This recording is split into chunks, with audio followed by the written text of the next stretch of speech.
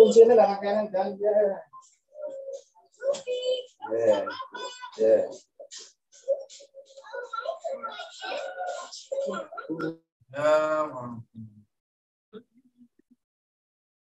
Kan? Punya Mas Fajri kayaknya.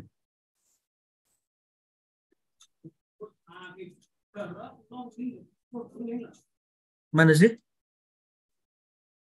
Aku kok nggak lihat di mana lihatnya? Huh?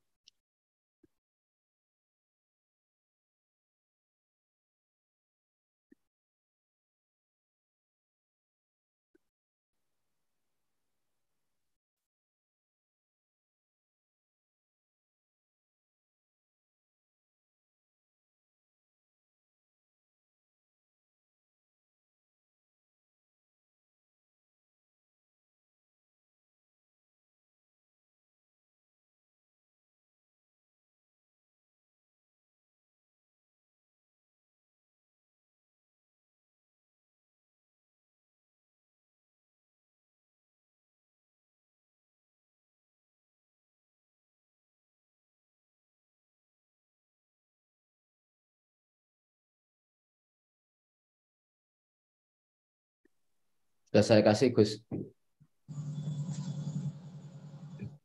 Sampun WA-an iki nembe mawon. Sampun dibales.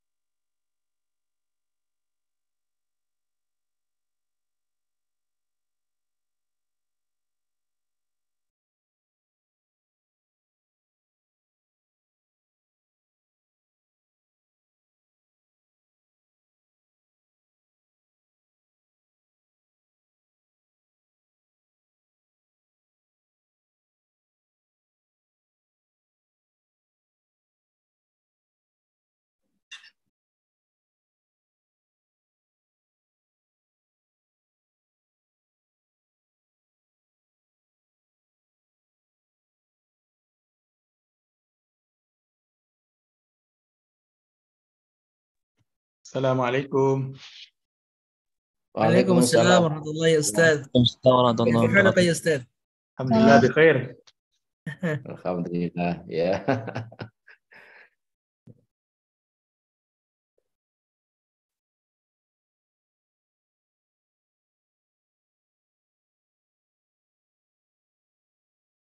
Bagaimana kabar ممكن Malaysia? أن نبدأ هذا البرنامج يا برو... يا بروفيسور حميمي؟ يا يا يا يا يا نعم، ممكن ممكن ما في مشكلة. آه، ولكن أنا عندي سؤال بسيط. آه، أن الطلاب آه، الذين يجلسون معنا الآن في هذه الغرفة كلهم من اس 2 إيه؟ نعم كلهم من نعم. اس 2 سرجانة. أوكي من قسم تعليم العربيه معظمهم من قسم تعليم العربيه من ولكن أي سنة؟ سنة ثانية ولا سنة ثالثة؟ ثانية ال... السنة الأولى والثانية والثالثة يعني. آه أوكي تمام. الثانية والربيعه آه، هي ممكن وأيضا هناك نعم. الرابعة أوكي. في المرحلة الربيعه موجود الثانية. تمام في مشكلة. الحمد لله إن شاء الله. طيب. نعم. السلام عليكم ورحمة الله وبركاته. السلام ورحمة الله. وعليكم السلام ورحمة الله وبركاته. الحمد لله والصلاة والسلام على رسول الله وعلى آله وصحبه ومن والاه. لا حول ولا قوة إلا بالله. ما بعدها رب اشرح لي صدري ويسر لي أمري واحلل عقدة من لساني يفقه قولي. اللهم افتح علينا فتوح العارفين بحكمتك وانصر علينا رحمتك وذكرنا ما نسينا وعلمنا ما جهلنا يا ذا الجلال والإكرام. معالي الأستاذ الدكتور سويتو. الماجستير كعميد من كلية التربية والعلوم التدريسية بجامعة كي هاجي سيف الدين زهري الإسلام الحكومية بروكرتو وكذلك معالي بروفيسور حميمي بن زين الدين من جامعة التكنولوجيا الإسلامية ماليزيا. جميع أصدقائي الطلبة من قسم تعليم اللغة العربية والمشتركون الأحباء. في هذه الفرصة النفيسة حضرنا معنا الأستاذ بروفيسور حميمي من ماليزيا وهو سيلقي المحاضرة الجميلة إن شاء الله حول آه، الطريقة والمنهاج في التعليم اللغة العربية. آه، ولكن قبل بداية هذه الدراسة سنلقي الكلمة من عميد كلية التربية والعلوم التدريسية الأستاذ بروفيسور سويتو الماجستير فعليه فليتفضل مشكورا Syukran. Assalamualaikum warahmatullahi wabarakatuh. وعليكم السلام ورحمة الله وبركاته السلام ورحمة الله Sayyidina Muhammadin wa ala alihi wa ashabihi wa alihi wa ba'd. yang saya hormati Profesor Dr.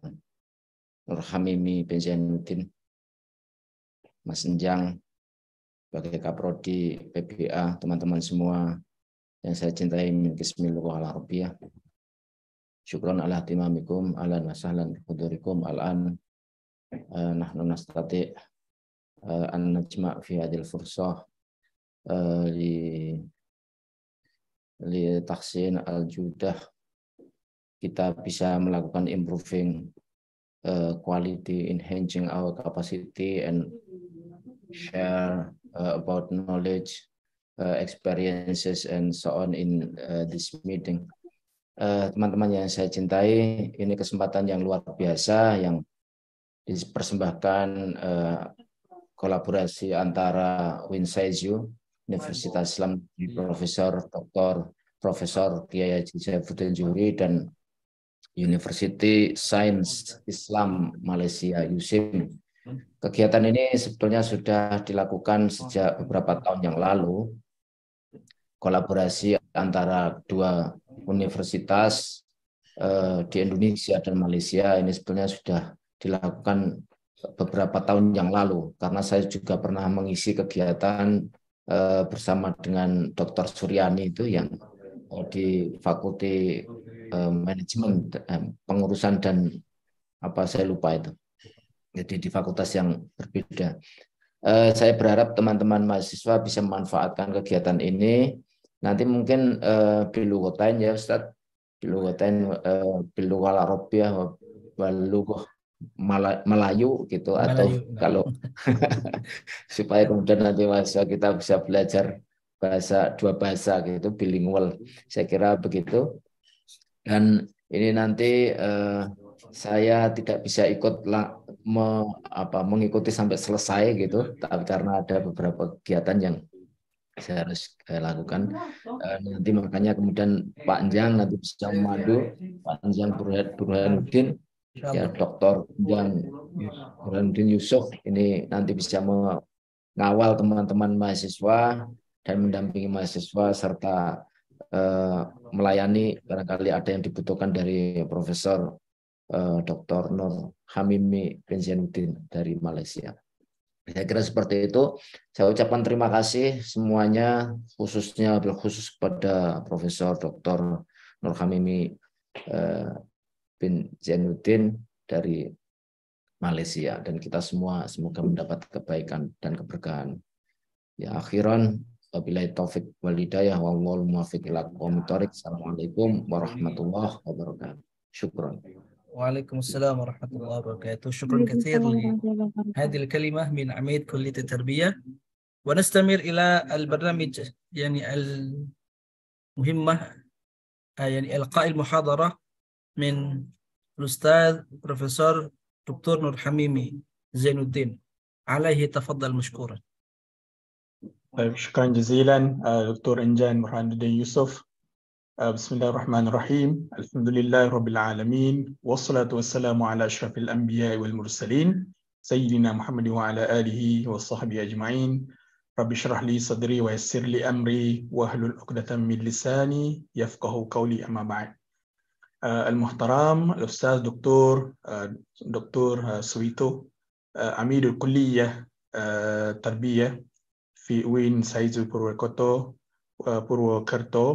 Tarbiyah fi UIN Saizu Purwokerto, uh, Purwokerto. وكذلك رئيس البرنامج دكتور إنجان برهان دي يوسف وكذلك صفوف الأساتذة والمحاضرين والمحاضرات ولا يفوتنا صفوف الطلاب والطالبات من prodi pendidikan bahasa Arab atau kuliah tarbiyah luar Arabiyah.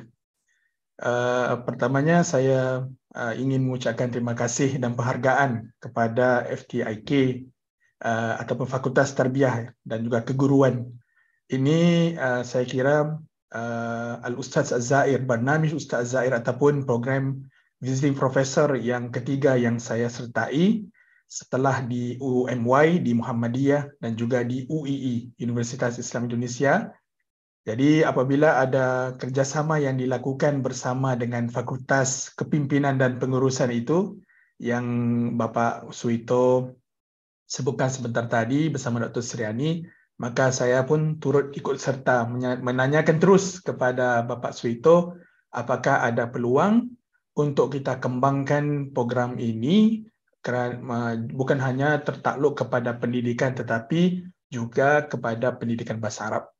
Kerana kita lihat fi hadhihi sana khasatan ba'da al-ja'iha Covid hunaka tatawwur at-teknologiya fi tarbiyah lughat al-arabiyah. Penggunaan atau istihdam penggunaan teknologi itu sangat penting. Tetapi mereka di dalam fakultas lain hanya menumpukan kepada teknologinya aja. Tetapi kita di fakultas FTIT ini kita melihat apakah teori apakah uh, turkut tadris, apakah strategiat yang berada ma wara'a hadhi atau ma wara'a hadzal istihdam. Penggunaan teknologi ini apakah skeletonnya, apakah asasnya? Jadi kita bukan hanya berbincang mahu menggunakan iPhone kah, Android kah ataupun menggunakan apa? Menggunakan games. Tetapi apakah teori yang berada di sebalik penggunaan teknologi itu? Jadi uh, insyaAllah dalam masa lebih kurang satu jam setengah hingga dua jam ini, saya akan berkongsi dengan uh, rakan-rakan mahasiswa berkenaan dengan strategi dan juga al-istratijah wa turku tadris fi ta'lim luar Arabiyah wa ta'allumiha. Kalau saya kira kita ini sangat sinonim dan surumpun, maka hal ehwal bahasa Arab ini di Malaysia dan juga di Indonesia mungkin kita katakan ta'lim lugah arabiyah biwasfiha lughatan thaniyatan sebagai bahasa kedua atau ta'lim lugah arabiyah biwasfiha lughatan ajnabiyatan sebagai as a foreign language sebagai bahasa asing. Kalau di Malaysia mungkin ada yang dianggap sebagai bahasa kedua ataupun mungkin sebagai bahasa ketiga kerana mungkin ada setengah universitas yang mengira bahasa Melayu dan bahasa Inggeris itu kedua dan bahasa ketiga ini mereka yang mungkin agak lewat sedikit belajar bahasa Arab mungkin bukan daripada SD atau sekolah dasar mungkin di SMP atau SMA ah, jadi saya di pengalaman bersama dengan rakan-rakan di Indonesia ini sangat luas saya sudah ke lima buah negeri ke Bandung, sudah ke Jogja, sudah ke Bali, sudah ke Aceh dan juga sudah ke Jakarta. Nanti mungkin yang ke keenam ini oh, uh, ya Purwokerto insyaallah. Ya. Antazirukum fi Purwokerto ya Ustaz. Ya insyaallah. Baik izinkan saya untuk share uh, uh, slide pada hari ini dan mungkin nanti selepas ba'da intihak min hadha taqdim sa sharing ma'al uh, Pak Anjang uh, hadha taqdim حتى حتى يستفيدوا او يفيدوا الطلاب هذا الارض تقديم ان شاء الله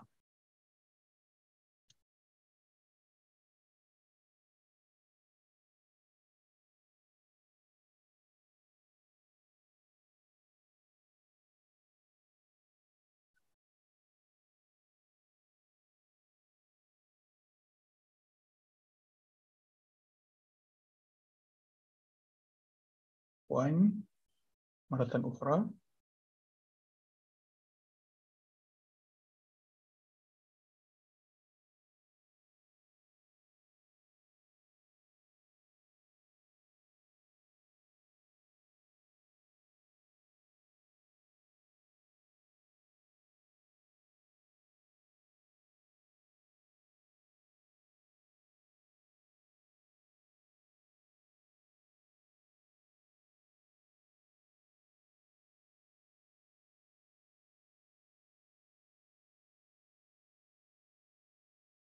Baik, uh, uh, bapak-bapak, eh, bapak-bapak dan juga para pelajar uh, di hadapan anda sudah jelas skrinnya. Okey. Jelas. Wadih, wadih jiddan. Full screen ya? Nah. Full screen atau masih di PowerPoint? Di PowerPoint. Belum belum yang full screen ya? Khalas ini, khalas. Okey, mungkin. Baik. Hmm.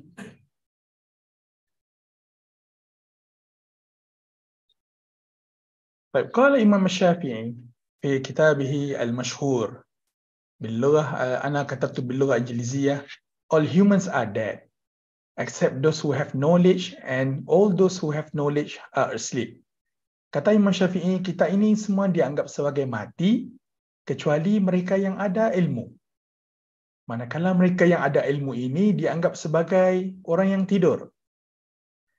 Ngorok ya atau turu ya panggil, eh, orang Jawa panggil kecuali mereka yang melakukan amal soleh.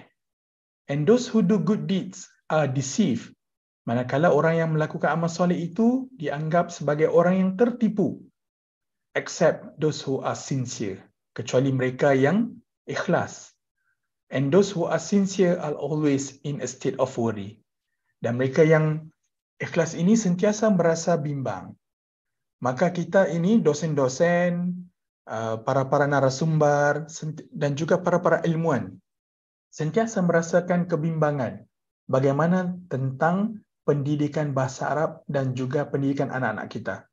Jadi saya kira kesemua 100 ataupun 110 mahasiswa yang dapat bersama dengan kita pada pagi ini kita kumpul satukan hati supaya kita menjadi orang yang apa dikatakan oleh Imam Syafi'i itu are always in a state of worry.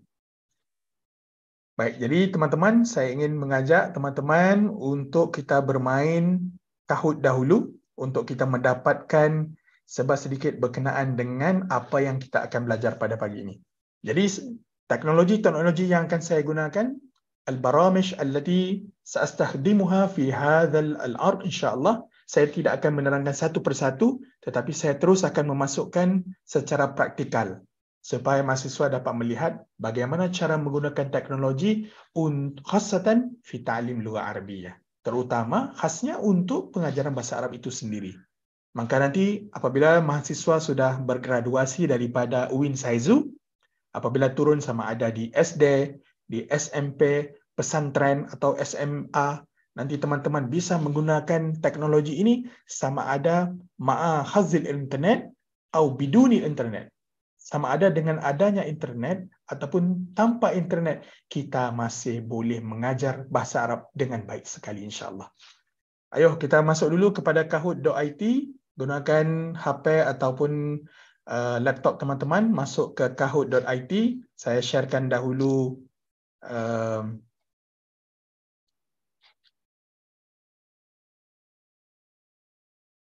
Okey, game pinnya sebentar.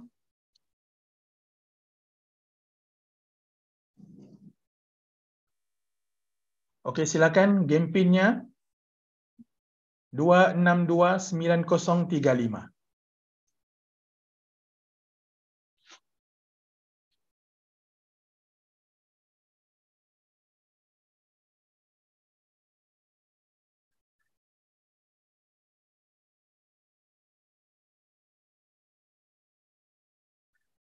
Okey, sebentar saya stop share share nanti kerana soundnya enggak masuk lagi. Okey, silakan. Wah, Pak Burhan yang pertama, Masya Allah. Ayo teman-teman, jangan bikin malu sama Pak Burhan. Ayo, masuk. Silakan teman-teman untuk masuk ke kahot.it. Okey, Mas Fahmi, Mas Hijrah, silakan. Jadi teman-teman, kalau lihat di sini ya, kami uh, saya selalu di dalam kelas bahasa Arab saya, saya mengambil kashful hudur ataupun attendance itu hanya menggunakan kahut. Jadi kita two in one. Ya. Jadi tidak perlu ambil lagi uh, cash, uh, attendance kali kedua. Di sini aja saya terus print out maka kita dapat melihat kehadiran pelajar pada hari tersebut. Ayo silakan kita beri masa lagi 20 detik. Silakan kita ada berapa ini? 100 lebih kurang. Silakan masuk semua.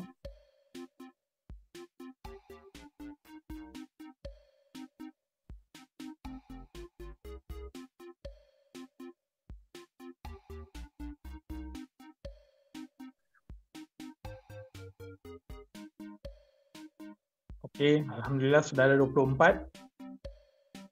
27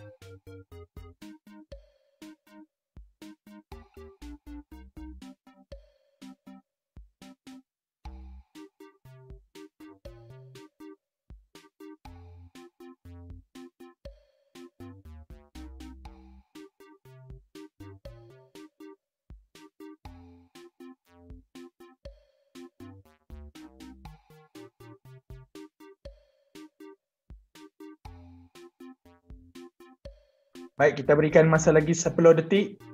Sudah 10 detik, kita terus jalankan ya. 10, 9, 8, 7, 6, 5, 4, 3, 2, 1. Baik teman-teman, kuis kita pada hari ini, kahut kita mengandungi 11 soalan semuanya melibatkan berkenaan dengan anmatu ta'allum ataupun learning style. Jadi dalam bahasa Arab ini, learning style itu sangat penting untuk kita melihat corak bagaimana anmatul muta'allim. Bagaimana jenis pelajar-pelajar kita yang ada. Baik, ayo kita mulakan. Bismillahirrahmanirrahim.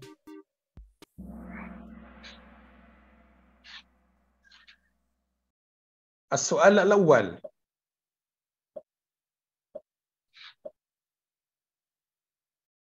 Which learning styles take a lot of notes so they can see the word that are spoken?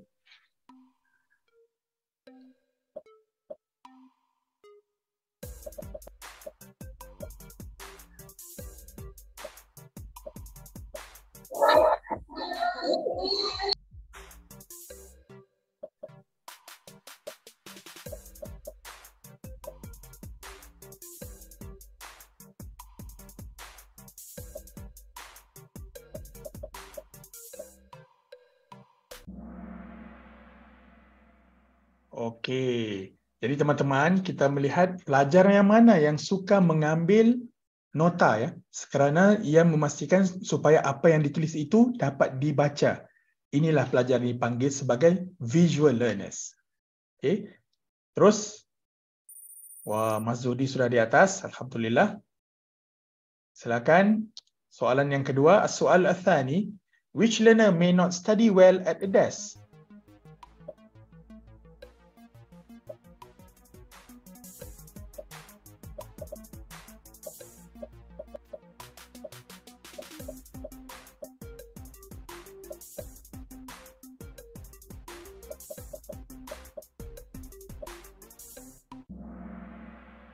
Pelajar yang sukar untuk berada di satu tempat adalah pelajar kinestetik. Nah, nanti kalau teman-teman sudah turun ke sekolah, lihat anak-anak itu mungkin ada yang berjalan-jalan, mungkin kita katakan, ya walad, ijlis. Ya bint, ya, ya bint, ijlisi. Nah, perlu hati-hati kerana mungkin pelajar itu adalah kinestetik. Namun mungkin pelajar itu tidak mampu untuk mengatakan kepada kita. Lalu kita kata ijlis, ijlisi. Tetapi perlu hati-hati kerana ada pelajar kinestetik yang mungkin berjalan, bergerak kerana mereka itu tidak mampu duduk di meja mereka lebih daripada 10 minit ataupun 15 minit. Lalu kita perlu adakan al-ansyita al-lughawiyah di dalam kelas kita supaya kelas itu terus hidup. Next. Okey, Mazudi di mana anda sudah turun? Fazainatul sudah di atas. Silakan. Soalan yang ketiga. Soal al-thalis. These learners like to talk to a partner while they study. Apabila mereka belajar, mereka suka bercakap dengan partner, berbincang dengan partnernya.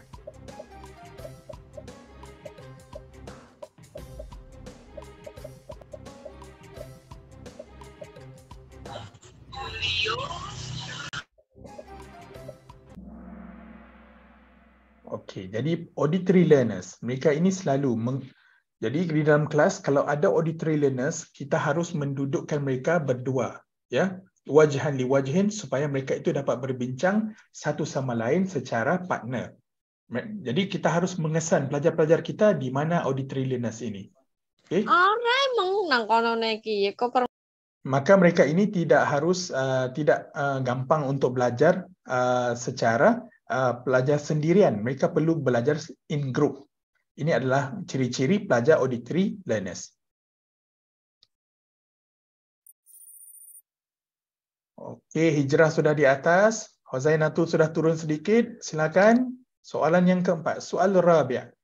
These learners walk around a lot when they have to memorize something. Apabila mereka perlu mengingat, mereka akan berjalan.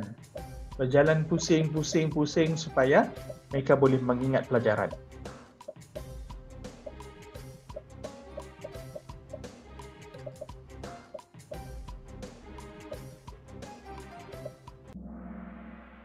Okey, Alhamdulillah. Pelajar ini juga adalah ciri-ciri pelajar kinestetik ataupun kita panggil al-muta'allim al-haraki. Okey.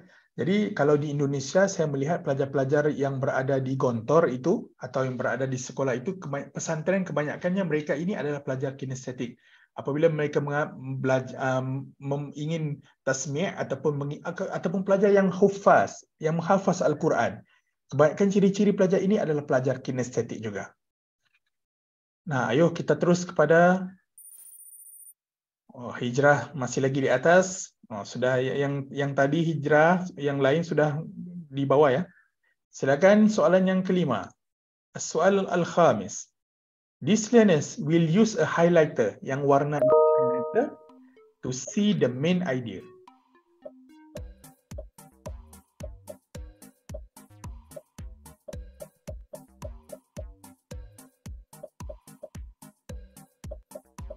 Saya kira teman-teman juga banyak yang menggunakan highlighter untuk belajar, ya kan? Namun kita harus lihat, ya pelajar-pelajar visual learners ini adalah pelajar yang kerap menggunakan highlighter. Malah dosen-dosen juga ada yang menggunakan highlighter untuk apabila kita membaca sesuatu, minal kutub, uh, minal dirasat, minal buhuth, daripada bahas-bahas ataupun kajian-kajian research, kita akan menggunakan highlighter untuk kita istikhraj al-afkar al-ra'isah min hadhi ad-dirasat maka kita lihat sebab itu kita lihat ada buku-buku yang ditulis memang sudah ada warna. Malah al-Quran juga ada mushaf tajwid al-waqaf wal al-ibtida yang menggunakan highlight untuk kita melihat hukum-hukum idgham uh, idgham hukum ikhfa hukum uh, izhar. Maka kita harus lihat bahan-bahan pengajaran kita harus menggunakan highlighter ini terutama untuk visual learners ataupun al-muta'allim al-basari. Ayo kita ke soalan yang seterusnya. Ah, Muhammad Umar al-awwal sudah berada di al-markas al-awwal. Eh? Ayo kita ke soalan yang keenam. As-soal as-saris. These learners like to do hands-on activity. Kalau belajar tasrif, mereka suka yang ada gerak kerjanya, bukan hanya menghafal sahaja. Ini adalah ciri-ciri pelajar yang menggunakan hands-on activity.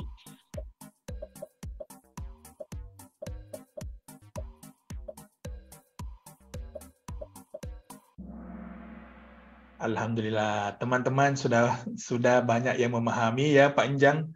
Kalau lihat di sini 23 orang sudah betul, maka mereka sudah memahami sebab sedikit. Jadi ya. al-ahdaf al-marjuwah, ha? kita punya uh, tujuan objektif kita kelas pada pagi ini insya-Allah akan tercapai nanti. Alhamdulillah. Wah, Muhammad Umar ini sudah masih di atas. Ya, sudah pakai SIM, pakai paket apa ya SIM-nya? Terus, as-soal as-sabi'. Soalan yang ketujuh, these learners excel when they listen to lectures. Mereka ini yang suka mendengar. Yastami'una ila al-muhadarah.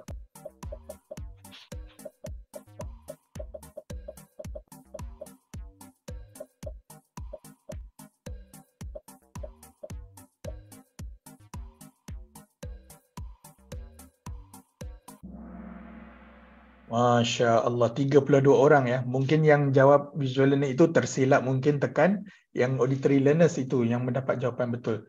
Jadi teman-teman perlu dilihat. Hanya mereka yang auditory learners, al-muta'allim al-sam'i ini saja. Hum yarghabuna fi sima' atau fi istima' ila al-muhadarah. Maka kerana itu uh, materi saya pada pagi ini tidak hanya tertumpu kepada muhadarah tetapi ada juga al-ansyitah, ada juga permainan lu'bah kerana ana urai uh, nau' min anwa'il muta'allimin. Saya juga perlu melihat kerana dalam 90 atau 100 orang yang berada pada pagi ini mungkin ada yang auditory learners, mungkin ada yang visual learners, mungkin ada kinesthetic learners.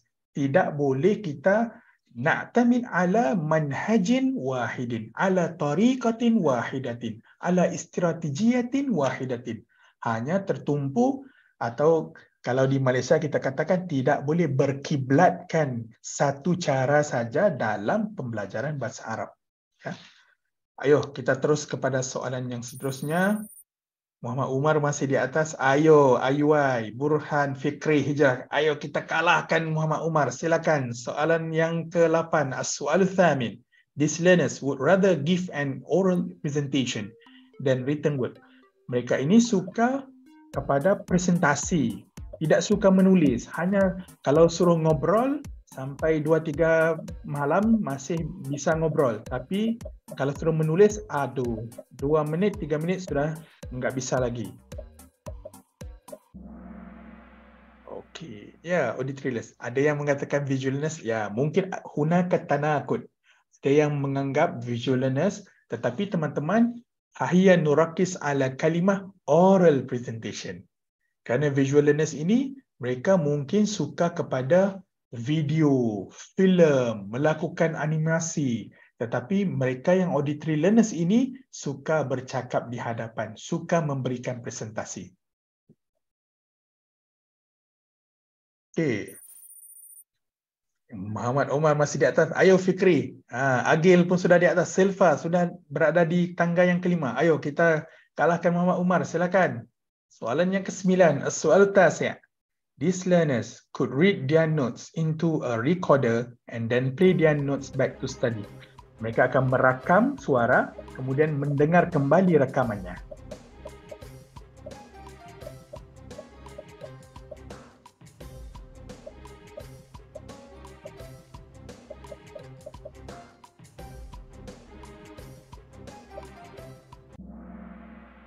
Okey, Alhamdulillah. Jadi teman-teman dapat melihat recorder, kemudian mendengar kembali. Jadi ini juga adalah ciri-ciri pelajar auditory.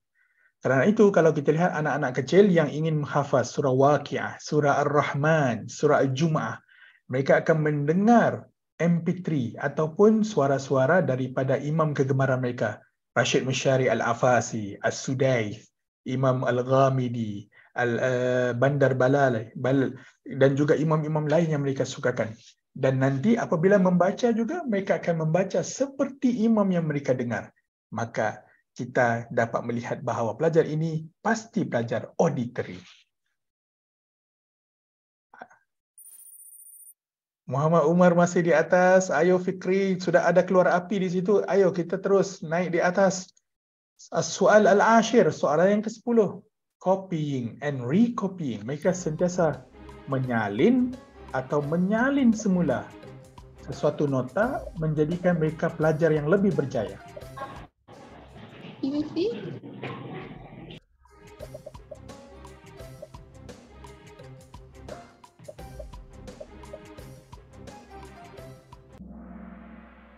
Visual learners, Alhamdulillah teman-teman sudah memahami kerana itu kita harus melihat Kadang-kadang ada dosen itu apabila pelajar menyalin katanya jangan salin. Hanya tumpu kepada kitab saya. Tidak boleh begitu teman-teman ya. Harus kita biarkan pelajar kita untuk menyalin kerana itu melatih mereka menulis dan apabila mereka menulis ia juga akan men- men- meningkatkan lagi proses ingatan mereka. Yartafi' eh? uh, al-mustawa al-dhatirah. Ayo teman-teman kita pergi pada soalan yang terakhir, soal al-hadi ashar. Listening to music helps these learners to focus better when they study?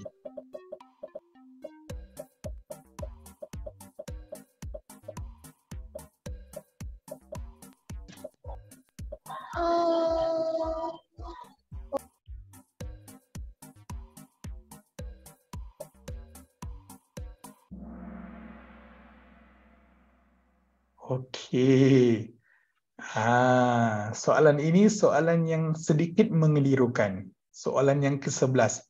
Boleh katakan hanya lima orang yang betul, 30 orang lagi hanya menjawab auditory learners. Kenapa? Cuba teman-teman lihat kembali soalannya ya. Listening to music.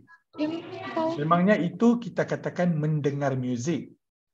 Membantu pelajar untuk belajar lebih baik bukannya mendengar pelajaran, mendengar perkara lain.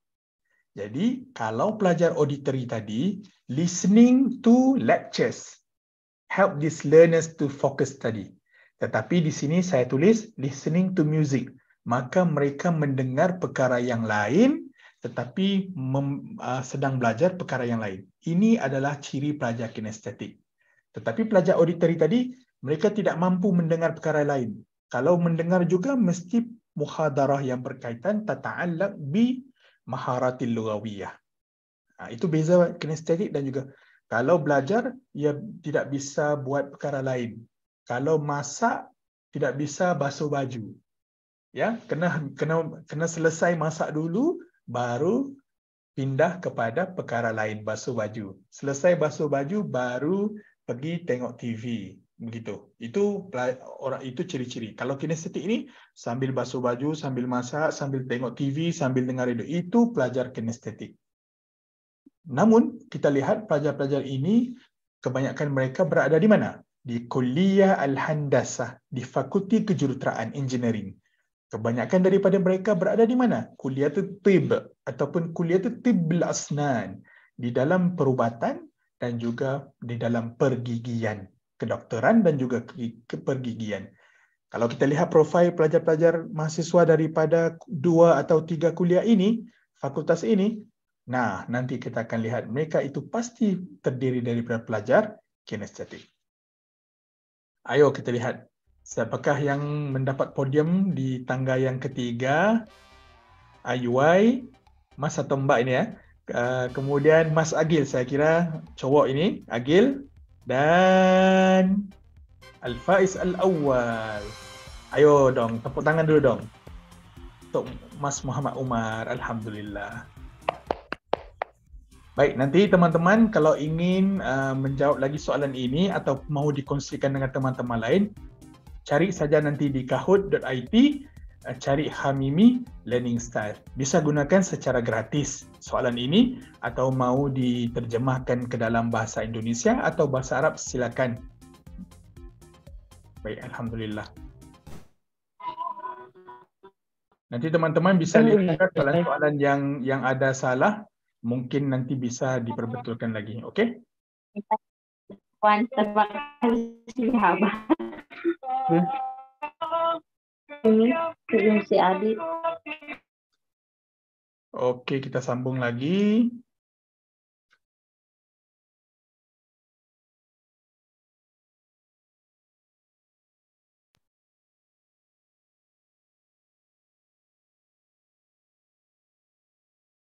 Baik, let's check out the world trends. Mari kita lihat apakah trends untuk tahun 2003 terutama untuk pendidikan.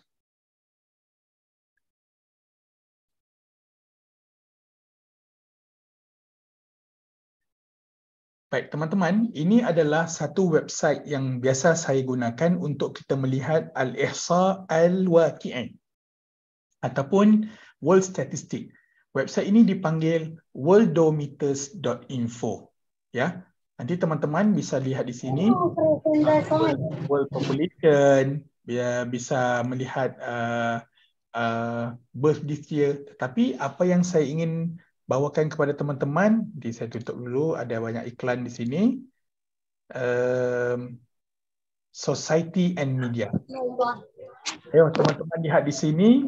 Um, new book title published.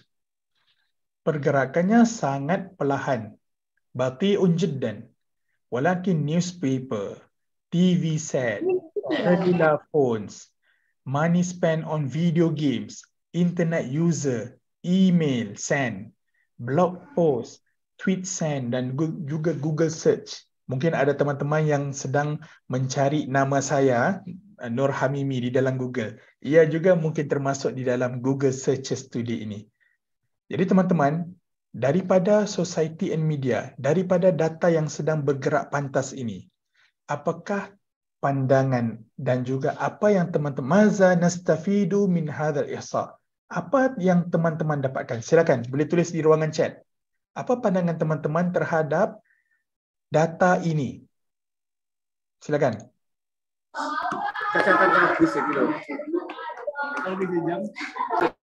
Ayo tulis di ruangan chat ya, nanti saya bisa baca juga. Okay, terima kasih Pak Anjang mendapat share Worldometers ini, Alhamdulillah. Silakan teman-teman, daripada data ini, apakah yang teman-teman dapatkan? Bisa tulis di ruangan chat. Silakan.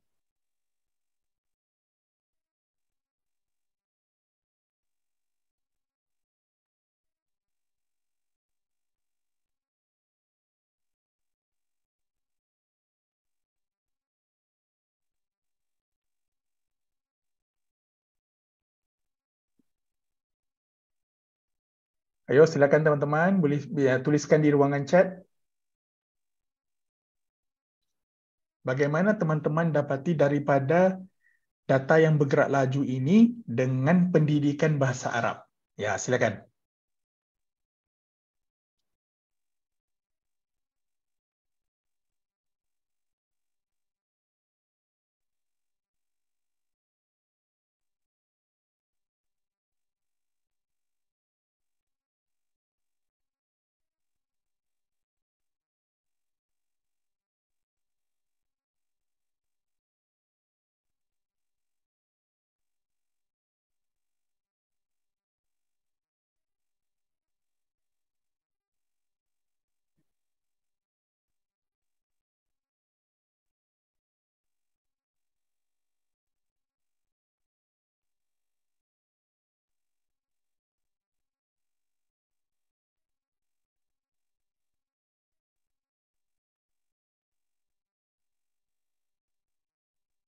Ayo, siapa yang sudah siap tuliskan aja di ruangan chat.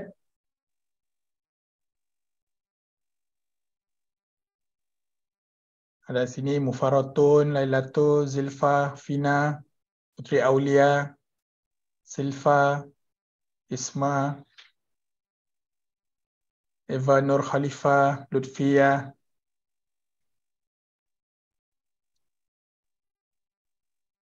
Saimin, Anisatul, Tria, Maya,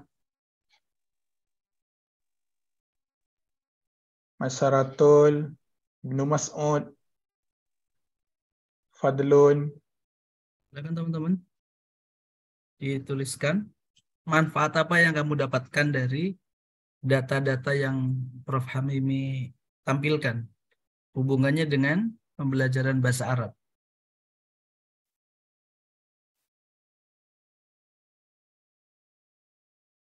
Ayo kita dapat satu atau dua juga juga sudah okey.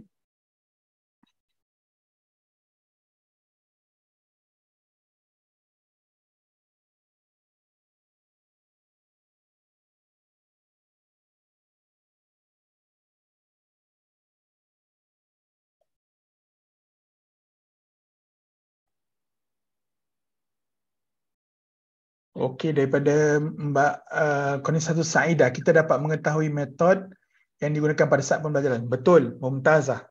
Guna Al-Hakiki sangat baik dan bagus jika beberapa madah pembelajaran bahasa dimasukkan dan dikonservasikan dengan teknologi yang sedang booming dan sedang ramai orang minat akan bisa mempulang memudahkan dalam pelajaran Arab. Ya, terbaik. Mumtaz Al-Hakiki. Baik, teman-teman. Jadi kita melihat di sini juga, kita boleh katakan annatullab musta'idun. Pelajar mahasiswa itu sangat bersedia menggunakan perkara-perkara ini. Kerana sememangnya kita menggunakan ya hari-hari.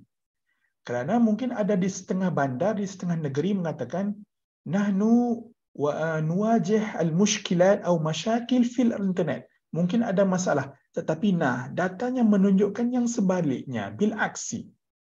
Nahnu nakhaf wa nakhsha anna al-muhadirin wal muhadirat la ghair musta'idin. Kita bimbang, apa yang kita bimbang, pelajar sudah bersedia tetapi guru-gurunya belum bersedia daripada segi mempertingkatkan ilmu pedagogi dan juga turku tadris kita dalam mengajar bahasa Arab. Ha, ini yang data ingin saya bawakan sebenarnya tuan-tuan. Ini adalah live data. Daripada uh, saya baca dulu kerana sudah ditulis daripada Khalisatul Nur Aziza, pesatnya penggunaan media pembelajaran bahasa Arab melalui online. Alhamdulillah dalam bentuk media cetak. Betul? Gesit Alif Priyanto dapat penambahan data mufradat untuk meningkatkan maharatul lughah. Betul? Mumtaz. Uh,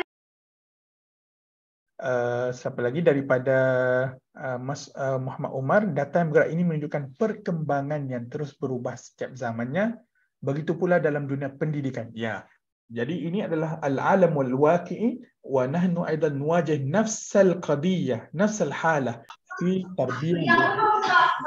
Ini harus mengimbangi. Panggil. Okey, alhamdulillah. Jadi teman-teman nanti bisa lihat kalau nanti teman-teman mahu menggunakan uh, apa ya bahan bahan bantuan pengajaran bisa menggunakan uh, bahan-bahan ini dalam kelas uh, pelajar-pelajar sekalian.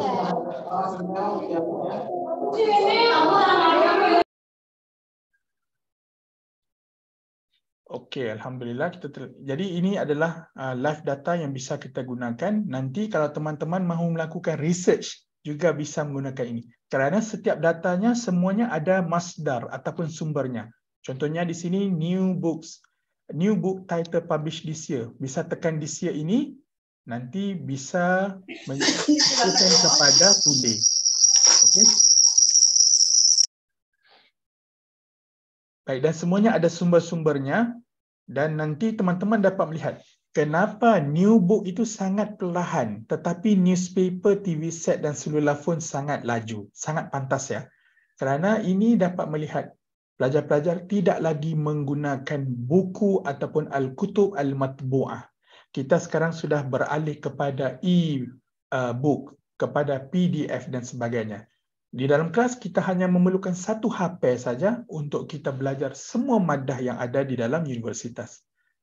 Nah, jadi inilah yang dipanggil sebagai at-tahawul al-rakmi ataupun digital transformation fi al-tarbiyah ataupun di dalam education. Baik, kita terus lagi pergi kepada uh, slide kita.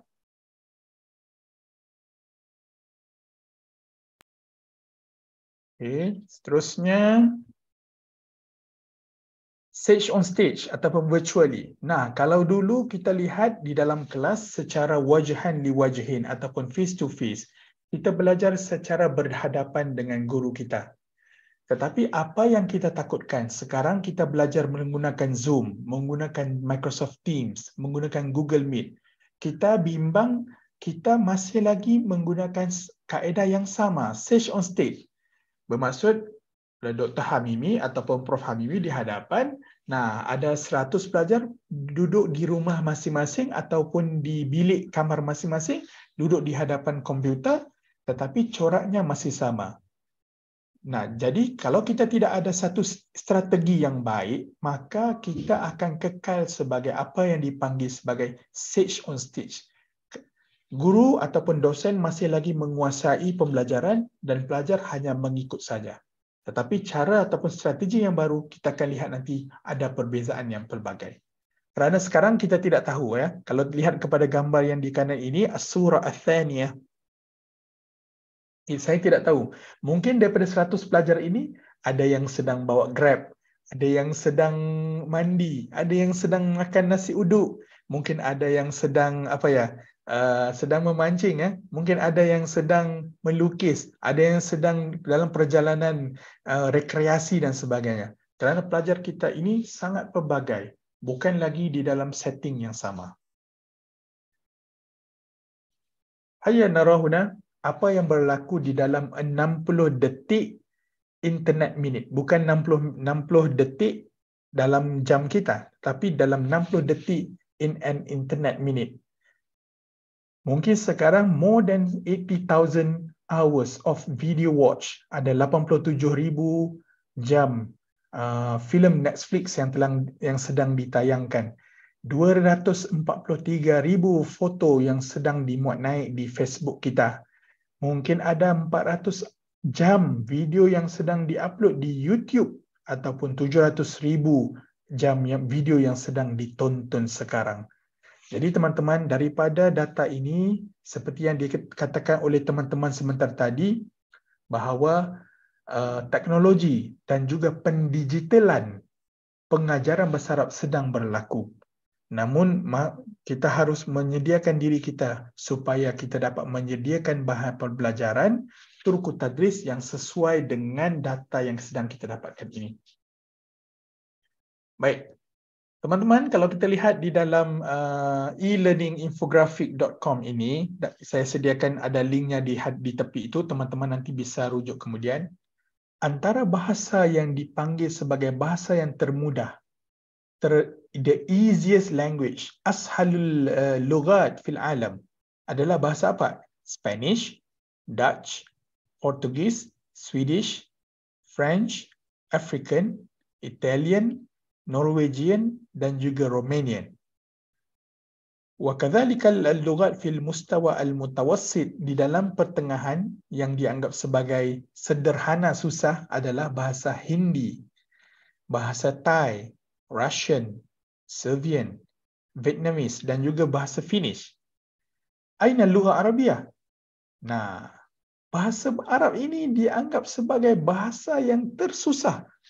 Man qala hadha man qala hadha laisa hamimi. Saya tidak berkatakan soalan saya tidak berkatakan ia adalah soal bahasa yang tersusah, tapi ini berdasarkan daripada research mungkin kita lihat nah jadi ini adalah tugas mahasiswa teman-teman yang berada di UIN Saizu dan juga di USIM untuk kita memperbanyakkan memperbagaikan turku tadris kita supaya kita akan usahakan teman-teman ya mengubah daripada bahasa yang tersusah. Had itu kepada paling kurang yang sederhana susah. Dan nanti akan kembali kepada bahasa yang tersenang termudah sekali. Itu peranan kita teman-teman, ya kan? Terus let us see. Hayya nushahid 20 uh, tarbiyah uh, atau ta'lim amaliyah ta'lim fi al-qarni al-hadi wal-20. Kita harus menjadikan pelajar kita sebagai partner, bukan sebagai pelajar lagi, tetapi partner. Pelajar yang sama-sama collaborate, nusyari wa nata'awan, pelajar yang men, yang menjadi uh, co-pilot kepada pensyarah ya. Nanti saya share share semula. Okay. Jadi ayo kita lihat ada sedikit video pendek berkenaan dengan 21st century teaching and learning.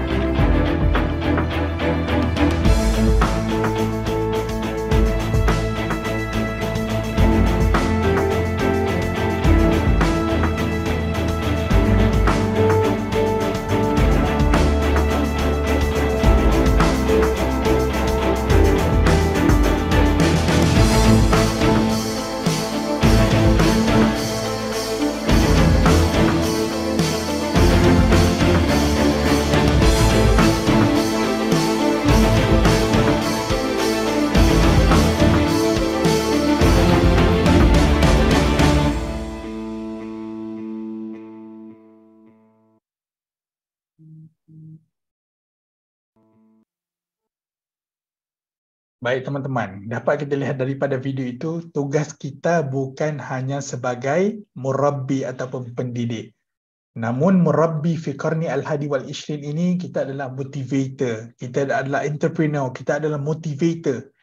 Kata kalau kita lihat tadi kebanyakan daripada perkataan di dalam bahasa Inggeris itu tidak ada pada zaman uh, Shakespeare ya. Dan Uh, teman-teman kalau lihat nanti kita ini di FTIK ataupun Fakultas Tarbiyah dan Keguruan tujuan kita bukan hanya untuk menjadi seorang guru tetapi kita harus kembangkan karya kita supaya teman-teman dapat melihat graduan bidang-bidang tarbiyah ini boleh bekerja di dalam sektor yang pelbagai.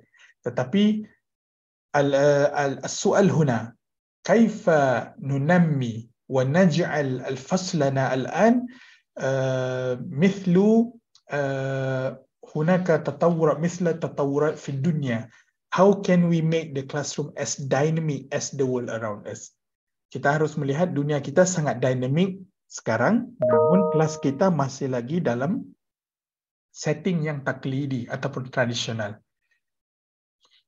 kita dapat lihat teman-teman the learning pyramid kalau kita lihat kita masih lagi mengikut kepada strategi muhadarah. Summa hunaka qiraah. Kalau kita ingin menaikkan lagi kita pergi kepada sam'iyah basariyah. Summa demonstrasi. Summa discussion group and niqash. Summa practice by doing. Dan yang terakhir kalau teman-teman ingin mendapatkan teaching method yang yang paling terbaik sekali adalah teach others bermaksud kita memohon pelajar kita untuk mengajar pelajar yang lain. Itu adalah uh, participatory teaching method ataupun strategi pembelajaran ataupun pengajaran bahasa Arab yang lebih aktif. Baik teman-teman. Kita ada sedikit soalan. Okey. Ma mafhum tariqatut tadris? Uh, mungkin kalau kita google kita boleh dapat soalan uh, jawapan yang pelbagai. Tapi saya ingin tanyakan kepada pelajar sana ula sana thaniya sana thalitha wa sana rabi'ah fi uin saizu fi FTIK maza fahimtum min mafhum tariqatut tadris apa yang teman-teman fahamkan daripada tarikat tadris supaya nanti materi saya sehingga ke akhirnya ini dapat memberikan kefahaman yang lebih baik. Ayo masuk kepada menti.com. Saya akan sharekan uh, sebentar ya. Okey. Ma mafhum tarikat tadris, teman-teman boleh masuk menti.com dan gunakan kodnya 26966515. Okay, nanti saya tuliskan juga di ruangan chat ataupun saya copy link sahaja di sini. Ayo teman-teman bisa lihat di ruangan chat saya sudah sharekan. Ma mafhum tariqatut tadris. Ayo silakan. Bahasa Arab ataupun bahasa Indonesia, enggak apa-apa. Tulis saja bil lughatain, imma bil al-arabiyyah atau bil Indonesia. Insya-Allah. Ma fi mushkilah.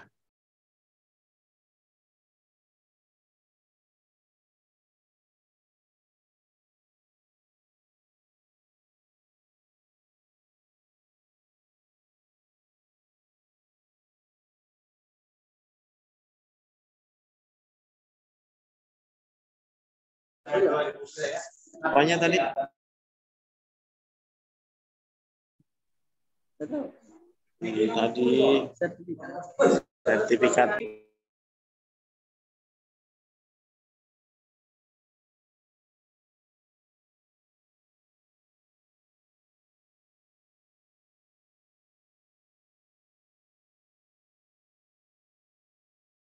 Okey, sudah ada dua jawapan. Metode memahami bahasa Arab. Alhamdulillah, barakallahu fiqh.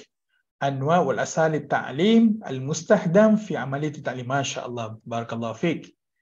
Jadi teman-teman, kalau tadi uh, di dalam apa ya uh, soalan yang tadi ada uh, ada penulisnya siapa kan di dalam chat. Tetapi di dalam menti ini kita tidak dapat melihat siapa yang menulis.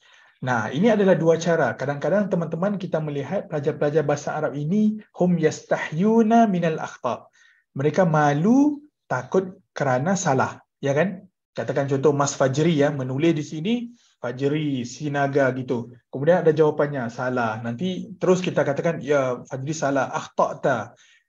Hmm, Lalu nanti kita dapat lihat Mas Fajri enggak mahu coba lagi. Tetapi kalau menggunakan menti.com ini bermaksud yang penulis jawapannya adalah anonymous. La na'rif manil manil qail man yaktub. Jadi kita kalau tidak tahu siapa yang menulis maka ya nahnu nushajji' at-tullab fil istijabah. Ha, ini adalah cara. Kalau kita lihat pelajar ini takut melakukan kesalahan, nah kita rahsiakan penulisnya. Nanti mereka akan lebih bermotivasi untuk menulis. Okey, saya baca lagi. Tarikatul Tadris, cara bagaimana seorang guru mengajarkan kepada ilmu dan muridnya.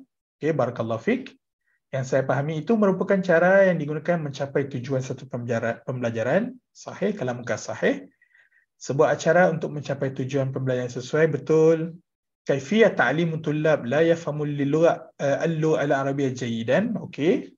Adalah cara metod yang digunakan mencapai tujuan, metod uh, cara yang digunakan untuk mengimplementasikan rencana, betul. Metod uh, memberikan pembelajaran atau pengetahuan kepada peserta didik, sahih. Media uh, media pembelajaran yang dapat membantu proses pembelajaran bersarap agar tercapai tujuan. Uh, sini sama juga uh, tujuan tertentu. Metod yang digunakan supaya menjadi efektif kepada pengajar dan peserta didik. Tariqah li wasilatil ilmi li fahmi al-arabiyyah wa li tashil bittisal al-ilmi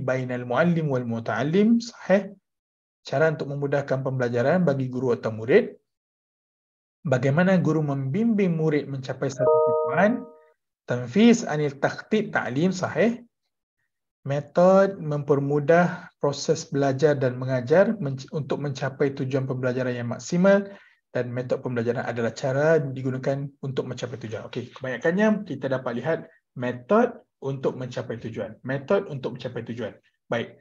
Jawapan yang teman-teman berikan itu sangat betul. Uh, cuma nanti kita dapat lihat ada nanti saya akan bacakan uh, yang lainnya kita masuk semula ke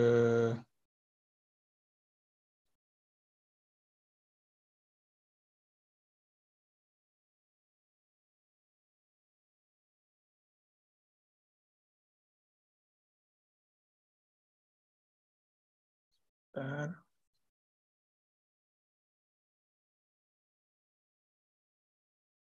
Baik. Jadi yang teman-teman katakan tadi sebenarnya betul. Cuma nanti kita akan lihat هناك نظرية حول بيداغوجية أو حول طرق التدريس تعليم طرق التدريس اللغة العربية. Teman-teman perlu melihat di dalam turku tadris ini ada apa yang dipanggil sebagai faktor dalaman dan juga faktor luaran. Jadi teman-teman pelajar ini apabila sikap, motivasi dan persepsi mereka bagus, mereka akan suka untuk mempelajari bahasa Arab.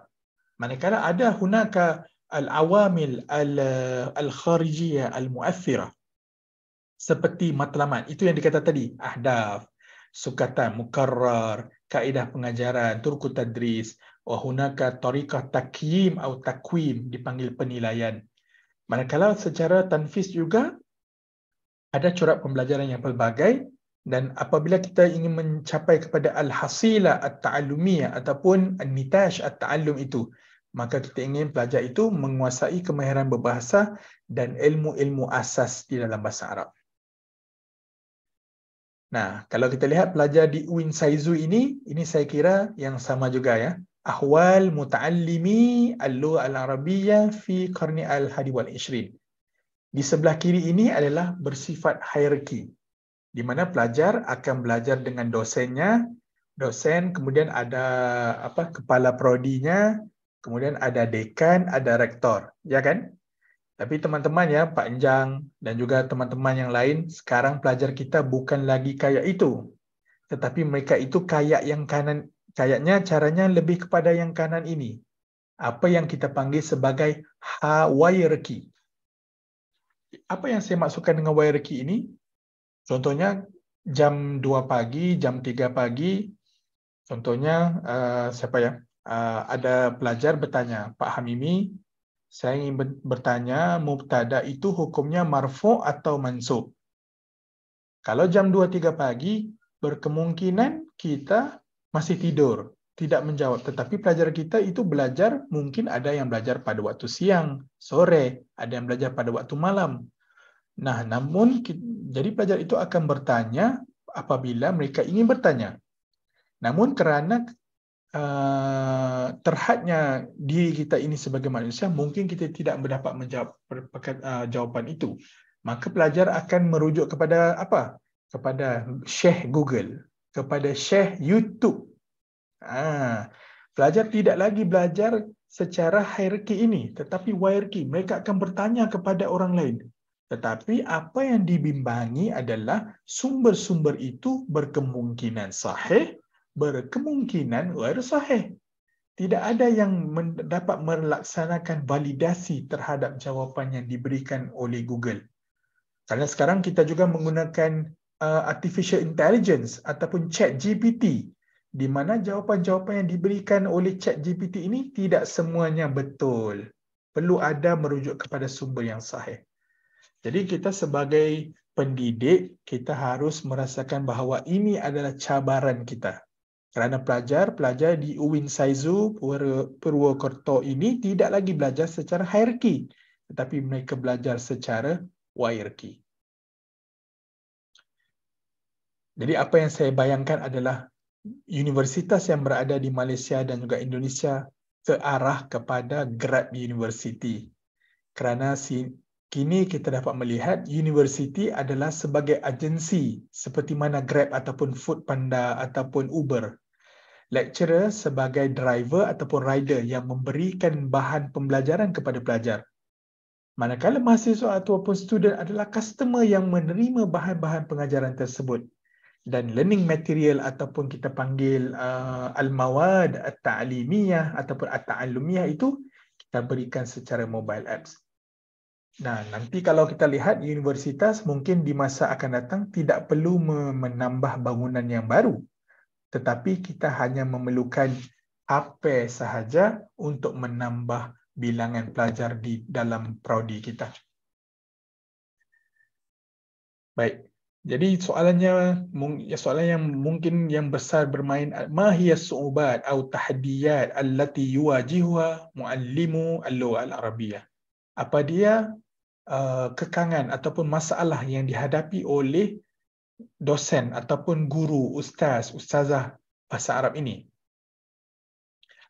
Antara masalah yang kita hadapi adalah kita dapat lihat hunaka tatwir pedagogiyah atau turku tadris al-lugha al-arabiyyah. Kalau kita lihat dulu version 1.0 al-alaqah ataupun hubungan pengajaran ini adalah guru kepada pelajar. Kemudian version 2.0 guru pelajar guru kepada pelajar kemudian pelajar dengan pelajar student with student. Tetapi sekarang version 3.0 guru kepada pelajar, pelajar kepada pelajar dan pelajar kepada guru. Kita dapat lihat sekarang pelajar bisa juga mengajar guru dan bisa menjadi dosen di dalam kelas dengan uh, uh, dengan uh, tahta isyraf al-muallim. Okey. Kemudian sekarang kita dapat lihat sekolah ataupun jamiah ini berada dulu berada di mabani bangunan. Sekarang al-mabadi al-mabani wal iftiradi secara face to face ataupun secara daring dalam talian. Tapi sekarang kita lihat al-jamiah wal madrasah fi kulli makan. Sekarang hari ini anda dapat mendengar suara Hamimi tanpa Hamimi perlu berada di sana. Ya kan? Nah, idzan nara al-an al-jami'ah wal madrasah wal fasl fi kulli makan. Fi kulli makan. Tidak lagi memerlukan kepada bangunan ataupun secara ni kita boleh belajar daripada sesiapa pun daripada mana-mana pun. Okay. Dan kalau kita lihat guru itu adalah muallim al-muahhal, mereka yang mempunyai uh, akreditasi. Kemudian version 2.0 juga sama. Tapi sekarang ini syah sunma. Sesiapa saja bisa menyatakan saya ini doktor, saya ini muallim, saya ini buya, saya ini syekh, saya ini habib, saya ini itu dan ini. Syah sunma. Nah harus maka kita harus berhati-hati bagaimana kita mendapatkan maklumat dan juga ilmu minal al muallim al muahhal ataupun mereka yang benar-benar mempunyai ilmu ter- di dalam perkara tersebut. Baik, asatizah luar Arabiyah yang ciri-ciri ataupun kita katakan sebagai mahawir ataupun karakteristik ma'ayir asatizah luar Arabiyah yang pertama, makrifat tatwir pedagogiyah. Anda mesti sentiasa mengetahui perkembangan turku tadris. Jadi saya kira ya juga Pak Anjang dan juga rakan-rakan, ini adalah salah satu daripada muhadarah ammah supaya kita mengetahui makrifat tatwir pedagogiyah atau tatwir turku tadris itu. Yang kedua, makrifah anmati ta'allum daurul wa dauril asatizah biwasfihim al-musyrifun kita ingin mempertingkatkan ilmu kita sebagai fasilitator. Walaisa fashil, facilitator, walakin fasil, fasilitator. Ha? Summa ma'rifah kaifiyah wukuf wal wusul wal tikrar. Apabila kita mengajar secara online teman-teman, harus kita tahu bila kita ingin untuk berhenti. Bila kita ingin sambung dan bila kita ingin mengulang. Pada pelajar-pelajar yang mungkin lemah, mungkin memerlukan kepada sedikit pengulangan-pengulangan dan pengulangan.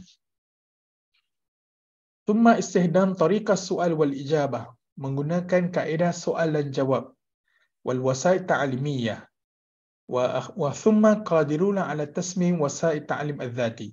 Kita sebagai pengajar strategi kita adalah mampu untuk membina self learning material, perbahan pembelajaran secara kendiri Lalu kalau kita ada pelajar-pelajar yang pulang ke kampung, pulang ke desa, tidak ada capaian kepada internet, namun mereka masih tetap bisa untuk belajar. Wa thumma yastajibu tullab at-taghdhiyah raji'a lil muallimin law kana al-muallimun pelajar akan memberikan uh, apa ya semacam istijabah ataupun uh, uh, respon kepada guru-guru sekiranya kita yang pertama yuqaddiruna ala juhudi tullab. Sekiranya pelajar menjawab jawapan yang benar ataupun jawapan yang salah, kita memberikan apresiasi kepada mereka. Mumtaz. Walaupun salah, al-ijabah khati'ah walakin al-muhawalah mumtazah ya akhi. Ha, jadi pelajar itu akan merasa termotivasi. Thumma yastami'una ila ara'ihim wa afkarihim. Kita sentiasa mendengar pandangan mereka. Walaupun jawapannya mungkin ada sedikit salah dan sebagainya. Wa yatahammasuna fi amalati ta'lim. Guru ataupun uh, murabbi yang sentiasa bersemangat insya-Allah akan memberikan natijah yang lebih baik. Okey, ini adalah manhaj ta'lim luar Arabia al-hadis.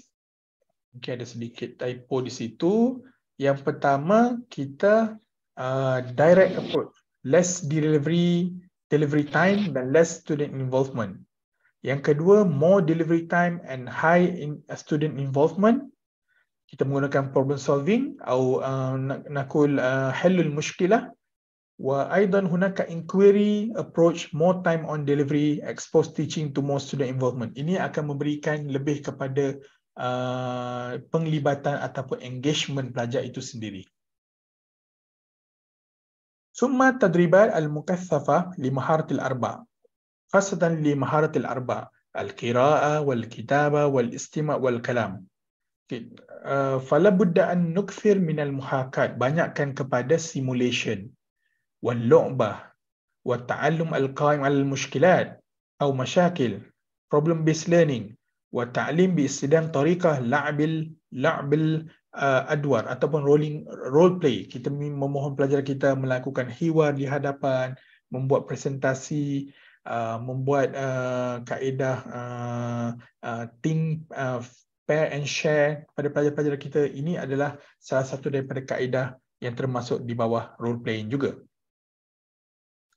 Jadi teman-teman kalau teman-teman nanti bisa memulakan di dalam bahan pengajaran, kita dapat lihat daripada Bloom taxonomy itu, kita boleh melakukan ada beratus-ratus yang banyak di sini aktiviti-aktiviti yang bisa kita lakukan sesuai dengan Bloom taxonomy itu sendiri. Sama ada project, graph, report, survey, valuing, magazine article, show, event recording, tape recording, cartoon, semua ini adalah uh, aktiviti-aktiviti dan strategi pembelajaran bahasa Arab yang bisa kita gunakan di dalam kelas.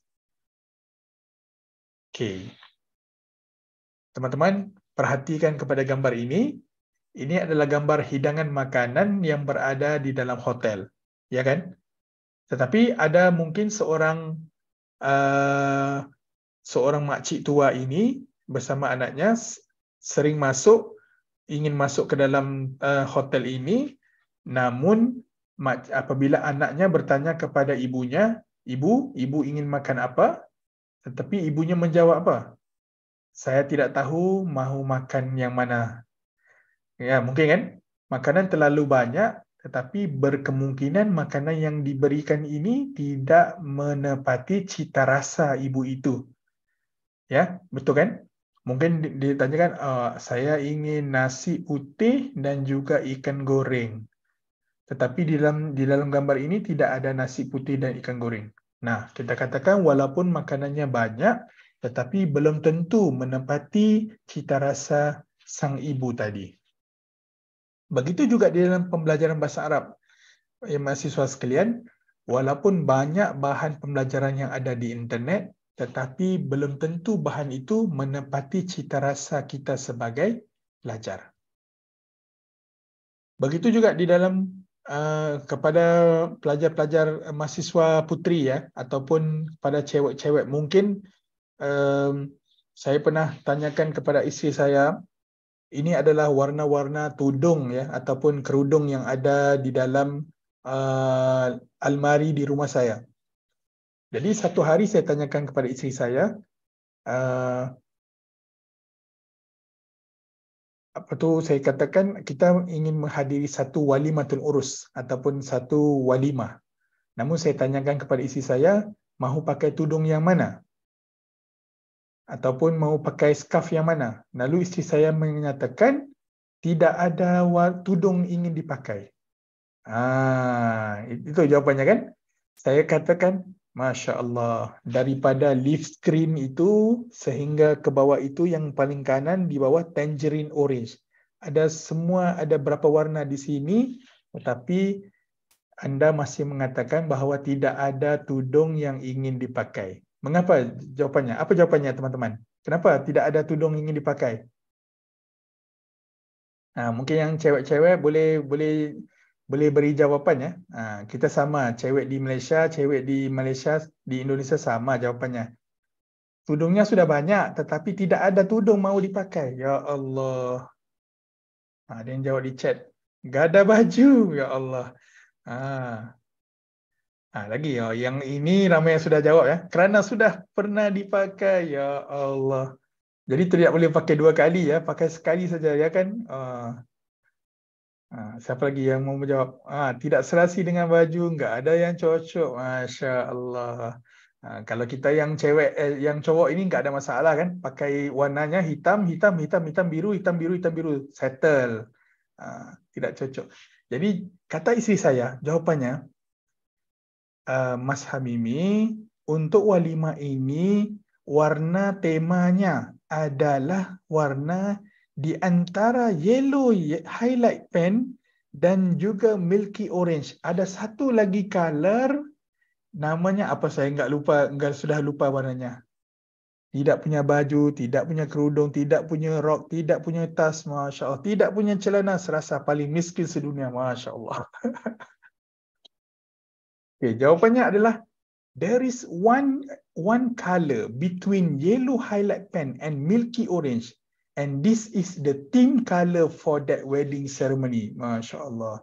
Jadi saya katakan kepada isteri saya, apa bisa saya gabungkan aja yellow highlight pen dan milky orange pakai dua-dua itu jadi warna yang warna yang dikatakan. Enggak boleh. Ha, jawapannya enggak boleh. Kena beli satu lagi tudung atau kerudung yang warnanya mesti sama dengan tema.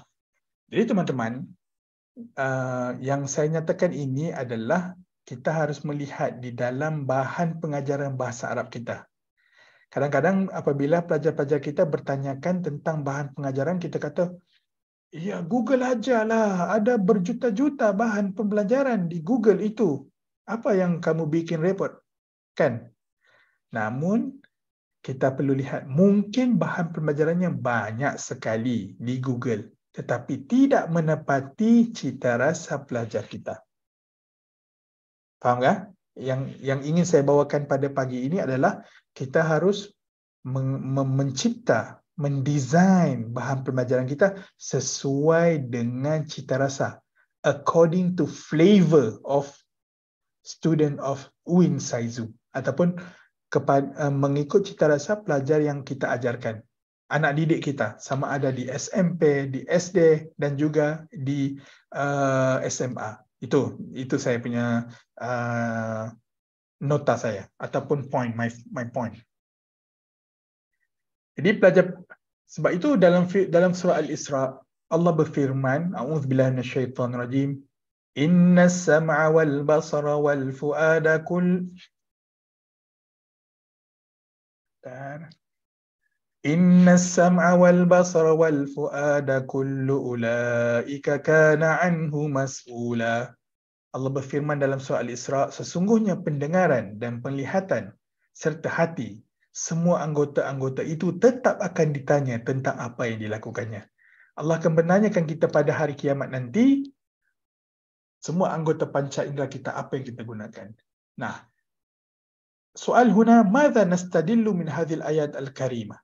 Apa yang kita dapat daripada ayat surah Al-Isra ini tuan-tuan inilah yang yang kita mainkan pada kahut tadi mengetahui kepelbagaian pelajar yang kita ada ada pelajar yang kinestetik pelajar yang yang uh, uh, yang yang auditory pelajar yang visual pelajar yang tactile pelajar yang logik pelajar yang mathematics ya yeah? ولماذا أصبحت معرفة أن ما تتعلم في وقتنا الحالي مهمة kerana kenapakah ini penting kerana merujuk kerana ia akan ditanyakan pada hari kiamat nanti tentang panca indera kita fa'lam uh, anna hunaka anmatu ta'allum seperti yang saya katakan tadi ada pelajar yang haraki kinestetik pelajar yang lafzi ya pelajar yang sauti wa musiqa والطالب المرئي والmunfarid والاجتماعي والرياضي sebab itu pelajar-pelajar kalau kita menggunakan WhatsApp ataupun WeA ada pelajar-pelajar yang bis, yang suka menggunakan teks suka menaik teks tetapi ada pelajar yang suka merekod suara menggunakan voice note kenapa ya ini menunjukkan pelajar yang suka voice note itu adalah pelajar yang dipanggilkan lafzi Contohnya saya katakan, uh, Assalamualaikum Pak Enjang Burhan, saya ingin bicara sesuatu. Uh, Waalaikumsalam Pak Hamimi, silakan uh, WA aja. Hmm, tak bisa lah Pak Enjang, saya mesti uh, menelpon Pak Enjang. Tak apa-apalah Pak Hamimi, WA saja, tulis saja di sini, saya bisa faham. Jadi Pak Enjang mungkin tidak memahami bahawa Hamimi ini adalah sadiq, sadiqun lafzi, dia adalah rakan yang lafzi. Tidak bisa kalau WA enggak puas. Mesti mau nelefon, ha, sudah telefon, ha, leganya rasa. Maksudnya sudah selesai. Begitu juga dalam pembelajaran. Mungkin ada pelajar yang tidak lepas kalau di, kita nyatakan secara teks saja. Perlu kepada voice note dan sebagainya. Okay. Baik, ini adalah uh, istibana. Kalau kerana mungkin ada soalan daripada mahasiswa Pak Hamimi, bagaimana kita bisa kaifa nuhaddid anwa'il muta'allim? Bagaimana saya bisa tahu Mas Bahrul, uh, Mbak Mbak Rahma, Mbak Alfia, uh, Pak Dekan ya, Bapak Dekan, Pak Suito itu terdiri daripada muta'allim ataupun rajulun yang macam mana? Jadi teman-teman bisa nanti menggunakan uh, saya saya boleh type juga di ruangan chat. Nanti mungkin masa yang kita ada sangat tidak mencukupi. Bisa nanti gunakan bit.do slash isesco. Okay. nanti kalau masuk di sini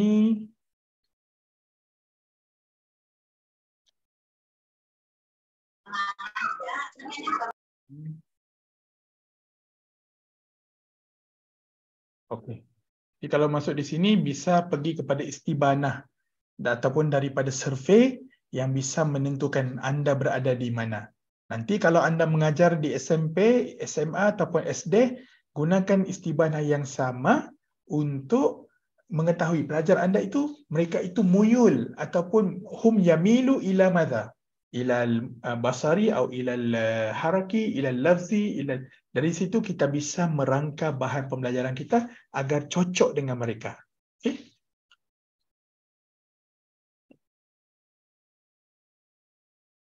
Okay, tadi learning style sudah ni. Okay, teman-teman bisa uh, uh, nonton video ini dahulu.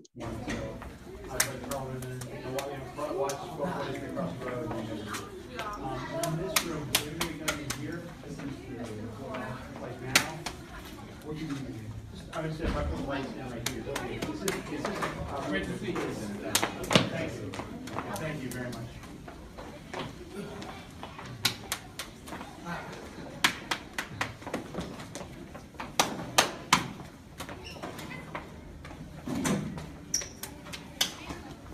You ready, Chef? I don't know if you're ready. You ready? All right, what you got?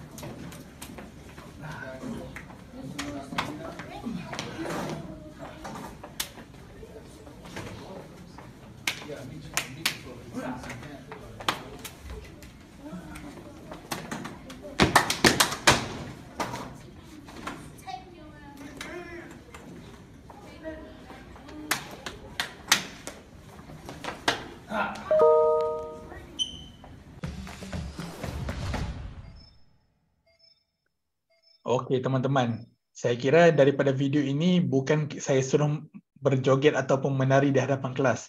Tetapi apa yang kita lihat adalah bagaimana guru itu memahami kepelbagaian pelajarnya. Ya kan? Nanti kita dapat lihat pelajar itu ada yang mungkin yang bagus, yang terkebelakang sedikit, masih ingin pergi hadir ke dalam kelas tersebut kerana mereka rasa seronok rasa mereka itu they are they feel very welcome. Ya? Ha, ini kerana lianna al muallim yura'i anwa tulab dia dia meraihkan kepelbagaian pelajar itu. Jadi pelajar yang lemah juga ingin menghadapi ingin hadir ke kelas guru ini Lafzi, basari, haraki. Sudah itu saja Pak Hamimah. Okey, terima kasih Mas Bahrul. Nanti ada pelbagai. Kalau kita lihat tadi, ah, contohnya ada di sini. Ada uh, badani atau haraki. Kemudian ada lafzi, ada sauti, ada mar'i, ada munfarid. Munfarid ini suka belajar sendirian. Manakala istimak itu, dia suka belajar in group dalam majmuah.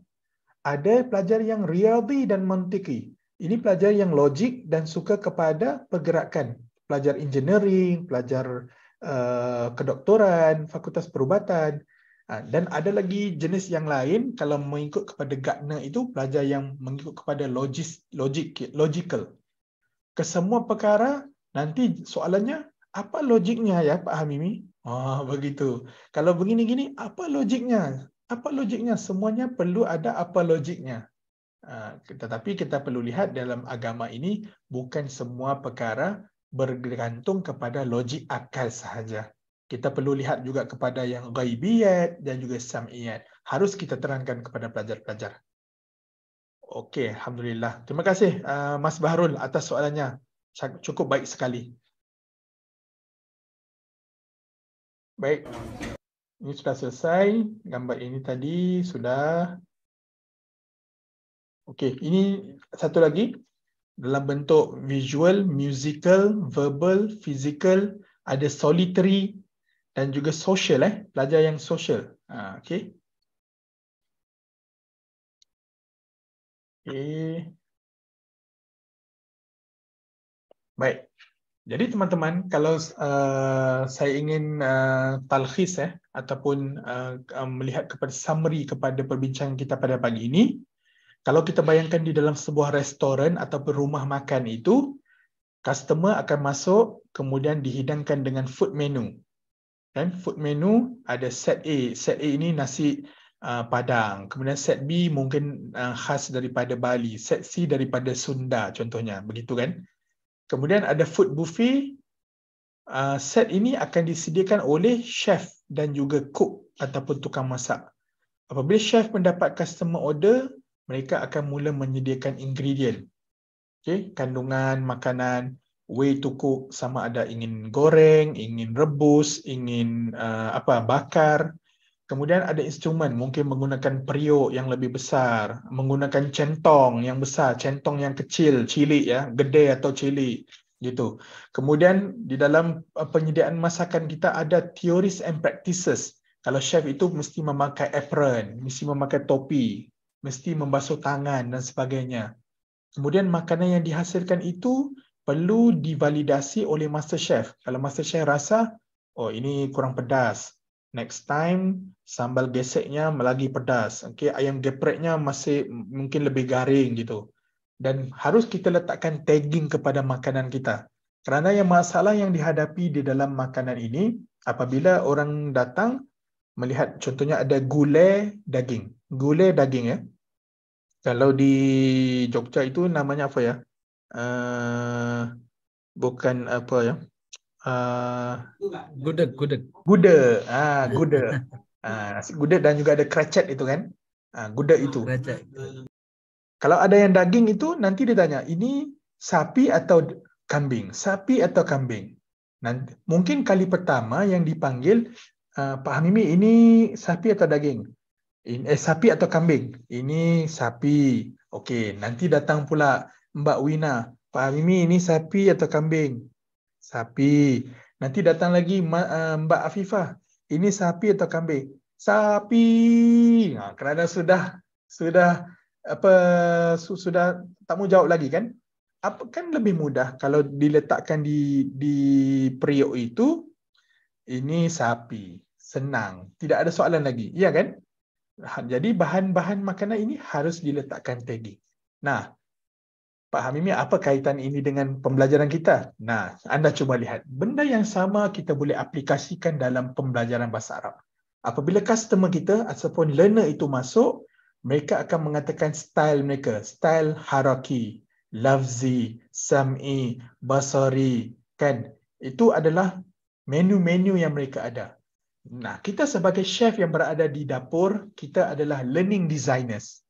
Jadi learning designers, kita tahu learning preference mereka, maka kita akan mula menyiapkan bahan-bahan masak kita iaitu konten ataupun muhtawayat ataupun bahan pembelajaran kita.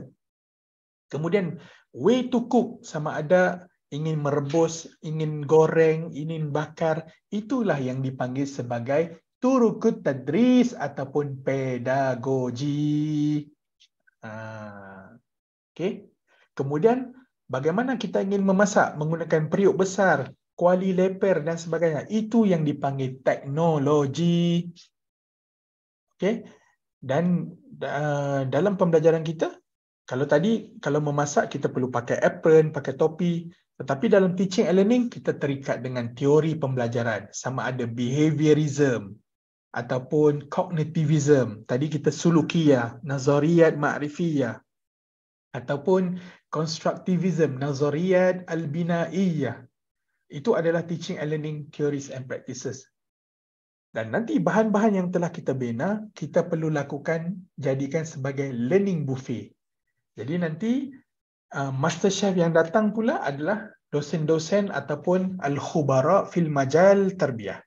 Mereka akan datang, oh ini videonya terlalu panjang, pendekkan sedikit kalau yang ini videonya terlalu pendek, panjangkan sedikit, letakkan assessment. Itu adalah kerja subject matter expert ataupun SME. Ataupun dalam bidang makanan tadi adalah master chef. Dan kita letakkan tagging juga kepada bahan-bahan pembelajaran, pembelajaran kita. Kalau anda meletakkan bahan di FB, di Instagram, di TikTok ataupun di YouTube, pastikan ada hashtag untuk kita taggingkan. Ini PBA, Pembelajaran Pendidikan Bahasa Arab tahun 1. Hashtag Pendidikan Bahasa Arab tahun 2. Nah, nanti bahan itu akan mudah untuk orang mencarinya. Okay. Teman-teman ingin uh, yang lebih lanjut, teman-teman boleh melihat kepada artikel saya di jurnal, di link di bawah itu ya, scholarsmapub.com. Uh, di situ ada uh, link kepada uh, artikel penuh ataupun al-maqala al-kamilah li learning buffet. yang bisa saya kita perkenalkan untuk pembelajaran bahasa Arab. Okey, nah Pak Amimi, kalau yang untuk teknologinya gimana? Teknologinya jangan risau teman-teman. Kita type sahaja Pedagogy Wheel 5.0, anda akan dapat melihat semua aplikasi di iOS ataupun di Play Store yang boleh membantu kita mengajar bahasa Arab dan semuanya adalah gratis. Free of charge, majanan. Tidak perlu bayaran. Jadi teman-teman jangan risau berkenaan dengan teknologi. Teknologi is always there. Jangan risau. Okay. Tetapi yang lebih kita ingin kuatkan di FTIK ataupun Fakultas Tarbiyah dan juga Keguruan ini adalah pedagoginya ataupun turku tadris. Okay, ingin saya kongsikan satu corak pembelajaran yang terkini yang yang saya dapati semasa saya memberikan materi keynote speaker di uh, Singapura di Singapura. Uh, dan uh, kaedah pengajaran ini dilakukan di Fakultas Perubatan tetapi saya kira kita boleh lakukan juga di dalam pengajaran bahasa Arab ia adalah berbentuk muhadarah tetapi muhadarah ataupun uh, kelas tanpa dosen ataupun lectureless class. Okay, ayo kita lihat.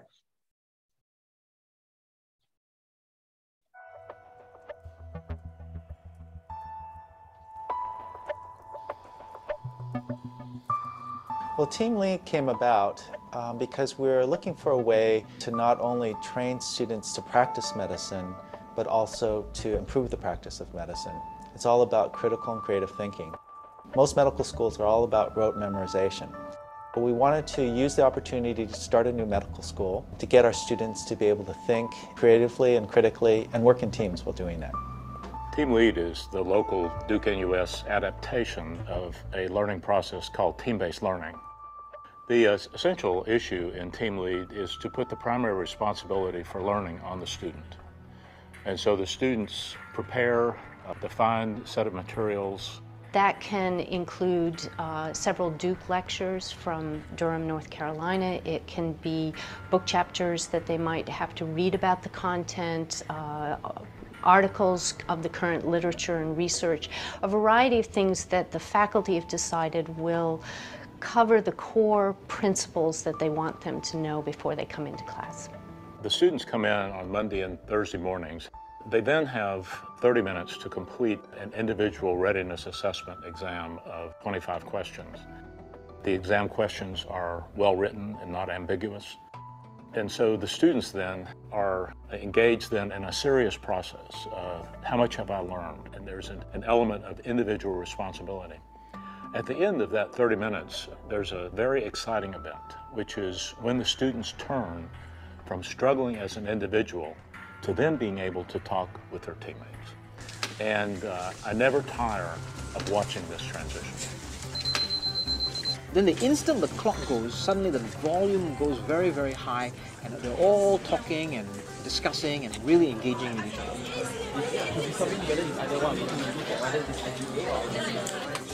It's not talk about it. And now the team has to do the same test again. And for each question, the team only gets to submit one answer. So part of what this methodology does is it forces a student to explain why I know this to be the right answer. This is how I understand it and this is why I understand it. And try to convince the other students and have a discussion about it. And it's through that discussion that they can crystallize their ideas and remember it a lot better part of what Team Lead is designed to do is help the students begin to take ownership in their own learning and understand where their gaps are and what they know and what they don't know. The next phase of that process, the students then have to ask questions about their gaps. We would ask each group to write down their questions and we would assign those questions to another group to answer in a formal way. So one group would write down their questions, and we would say, take this question and give it to another group. Give all the groups 10 minutes to prepare, and then have a group discussion. Each session, we assigned a student to stand at the front of the class and facilitate the discussion. Any more questions about the acetaminophen's uh, this, this result? Basically, they have a control which would give you no inflammation. I would um, uh, treat and resolve the dermatitis before uh, trying to do a test like that. What other tests can you do in place of this? From what I know, we use that test, the, the skin test actually for patients with asthma. The faculty will be around to help them answer their doubts. But we have modified it in such a way that we don't answer them firsthand. We get the students to answer each other's queries as a big team. So from a team of seven, we actually now have a team of 56. Then at the end of it, if there's still some more doubt, the faculty steps in and say, okay, I think this is right, this is the way to, to explain it, so and so is correct. So when you look under the microscope, you know where these IgGs are located, where the immunoglobulins are located.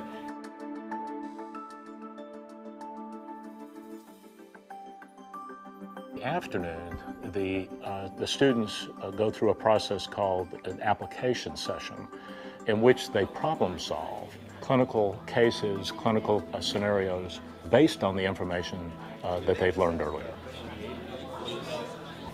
Right, and none of those, one of them has signs of all of them are And so the students are working through the case problem, the patient, the issues, the answers, and the faculty are working through the same problem. First of all, we're analyzing the problem. Is this an important case scenario? Are we sure we're asking a good question? What is the learning that we're trying to achieve? As a faculty member, we spend a lot of time writing the questions really well. This is all done behind the scenes. What we do not spend our time doing is talking to the students directly. It's the students who talk. Okay, question number one. Let me start with uh, group seven. What we're mostly worried about is a regression in the melanoma, and that will look more like uh, picture one rather than picture two. Let's say if we have a lesion like two and three, but they had ch- they recently changed in size, would you actually uh, think that it might be a melanocytic uh, melanoma? Because of the way the answers are to be derived at with the team dynamics, everybody in that team of seven needs to agree on one common answer before they commit. And through that process, we hope that they will learn to listen to each other. They'll learn to agree with each other. Team lead works because the faculty work as a team as well. Faculty members take on different roles, they help each other, they work together to be able to deliver this educational program. Our faculty are role modeling what we want our students to do. Where I used to go for undergrad, it was very lecture based. The professor just stands and talk and then we just take notes ferociously and try to remember every single detail we could. Whereas in team lead, it's very different. I find the faculty's members are a lot more, um, I mean, there's a lot more two-way interaction, you know, simply because our entire class is structured such that we have to ask questions and they answer questions, right? So, and Okey. Jadi teman-teman dapat lihat daripada video tadi uh, bahawa ia adalah satu kelas yang lectureless class. Pensyarah ataupun guru enggak ada di dalam kelas. Kelas itu dijalankan run by the student. Tetapi instruction ataupun al-irsyadat wa ta'limat lamma kanat wadihah jiddan. Kita perlu mengadakan satu uh, tata cara pengajaran yang lengkap supaya pelajar tahu apa yang mereka ingin lakukan. Okey. Kemudian ada satu lagi video yang bisa kita lakukan yang bisa kita buat untuk kita menjadikan pembelajaran bahasa Arab kita minal mumil ilal uh, fa'ali. Okey, daripada satu yang kita rasakan bosan kepada satu yang menarik. Kalau dulu pelajar-pelajar semasa saya berada di SMP atau SMA, mata pelajaran mata kuliah yang paling saya tidak suka adalah sejarah. Tetapi saya apabila saya melihat video ini, saya katakan di dalam diri saya, berkemungkinan sekiranya saya diajar kaya ataupun menggunakan cara ini, saya akan mencintai mata pelajaran sejarah. Ayo kita lihat. Ini adalah video daripada Hans Rosling bagaimana beliau mengajar sejarah menggunakan kaedah yang sangat menarik.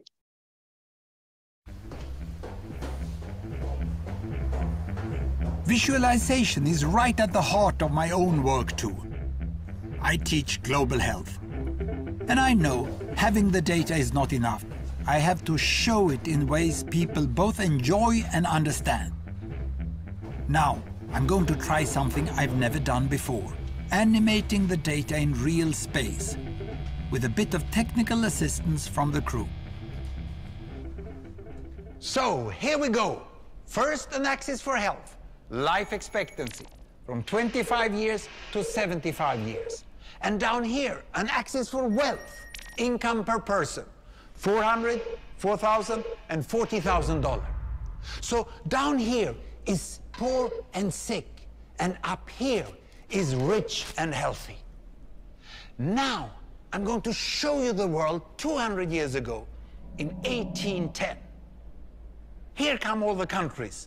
Europe brown, Asia red, Middle East green, Africa south of Sahara blue, and the Americas yellow. And the size of the country bubbles show the size of the population. And in 1810, it was pretty crowded down there, wasn't it? All countries were sick and poor. Life expectancy were below 40 in all countries. And only UK and the Netherlands were slightly better off, but not much. And now, why start the world? The Industrial Revolution makes countries in Europe and elsewhere move away from the rest. But the colonized countries in Asia and Africa, they are stuck down there. And eventually, the Western countries get healthier and healthier.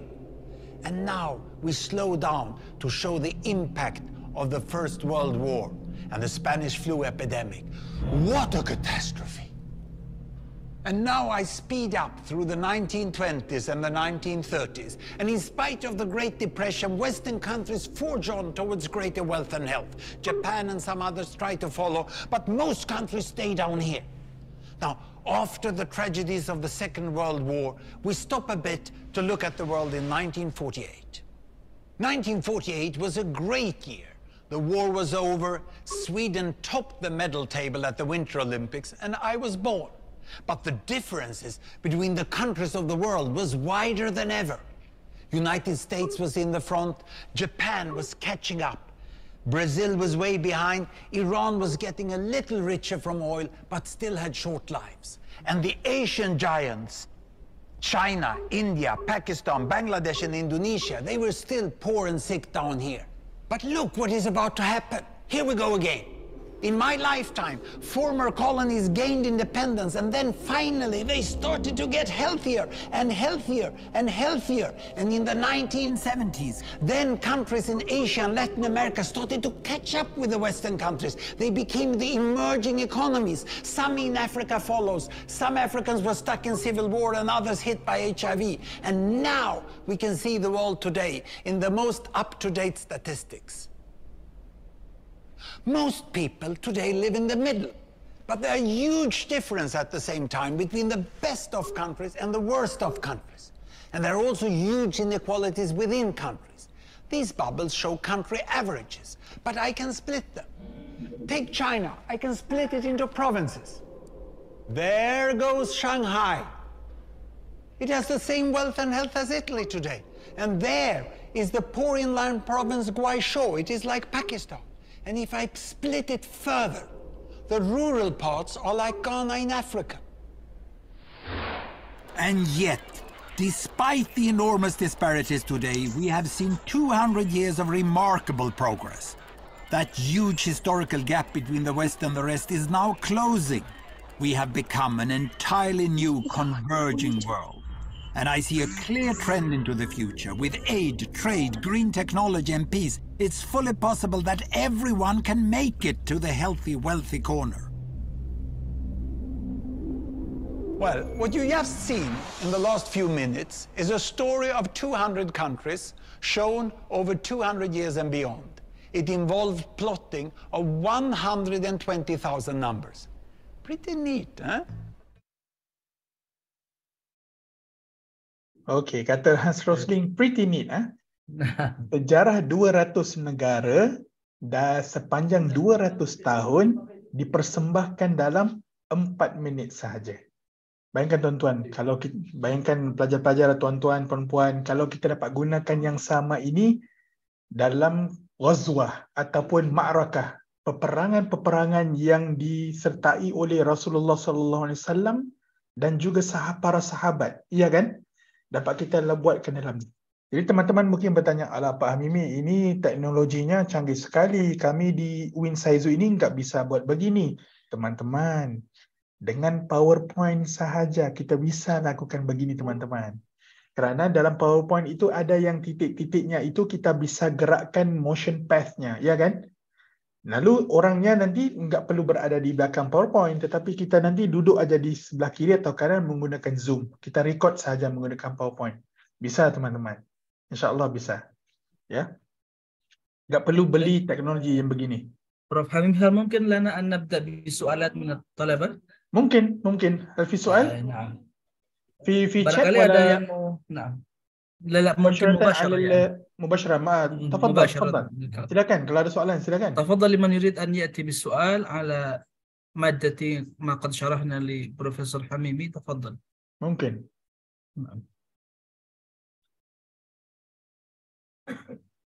سلاكان نعم. نعم. نعم. تفضل حقيقي السلام عليكم ورحمة الله وبركاته. السلام ورحمة الله. Uh, firstly, I want to say thank thank you very much to Mr. Hamimi لإعطاء uh, ممكن هذا المادة النافعة جدا خصوصا لي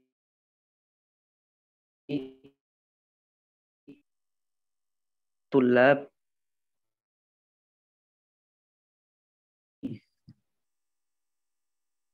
يعني آه، الطريقة ل الطريقة لتعليم اللغة العربية وكيف كيف بين المعلم والمتعلم الوسائل وغيرها. وهناك موجود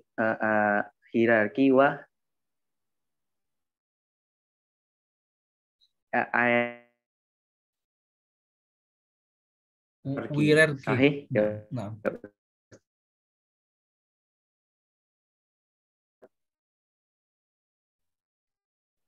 فما هو السؤال يا. حقيقي؟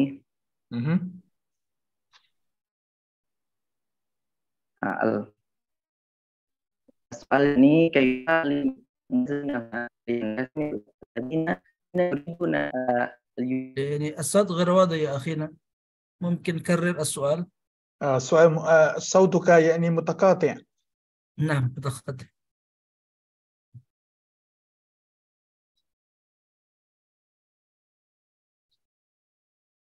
Oke. Yang lain barangkali mau bertanya lewat eh, message, silakan juga bisa Ya ya. menulis di pertanyaan juga. U- Uktub yakni as-su'al fi meeting chat. Nah.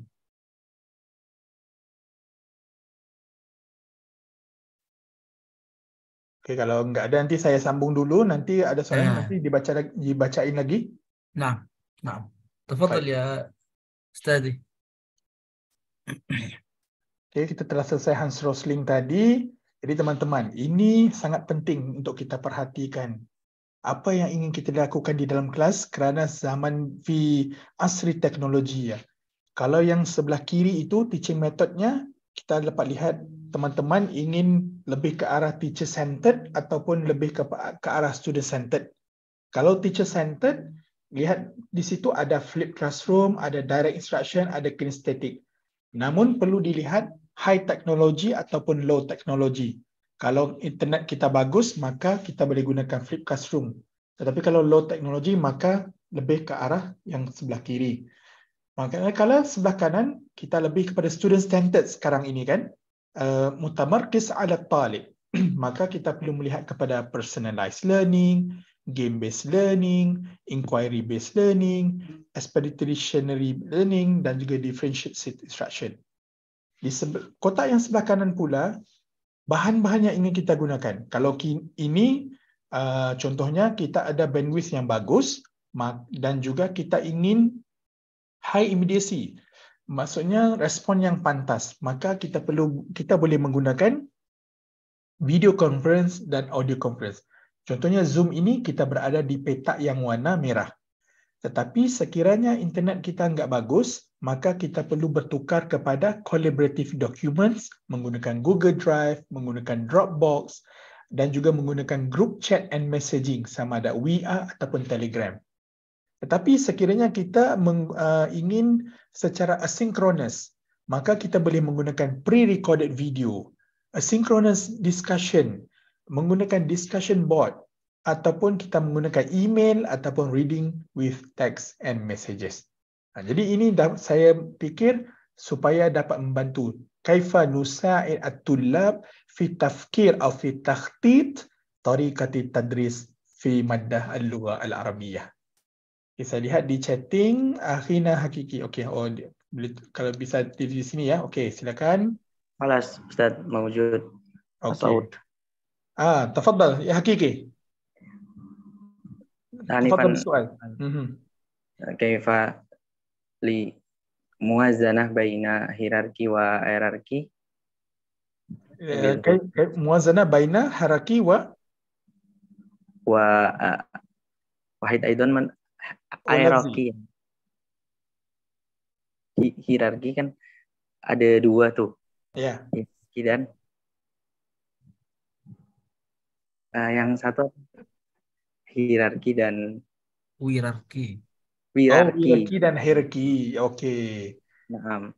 Lianna kasir minatulab yatajahuna ba'dus ba'dul as'ilah yuriduna al-ijabah al-asahla tasil. Hmm. Walakin la la tafhim la li tafhim kamilan li anna tafhim yakni najidu bi ittisal wa bayan insyirah min min ustad wal muallim atau mudarris.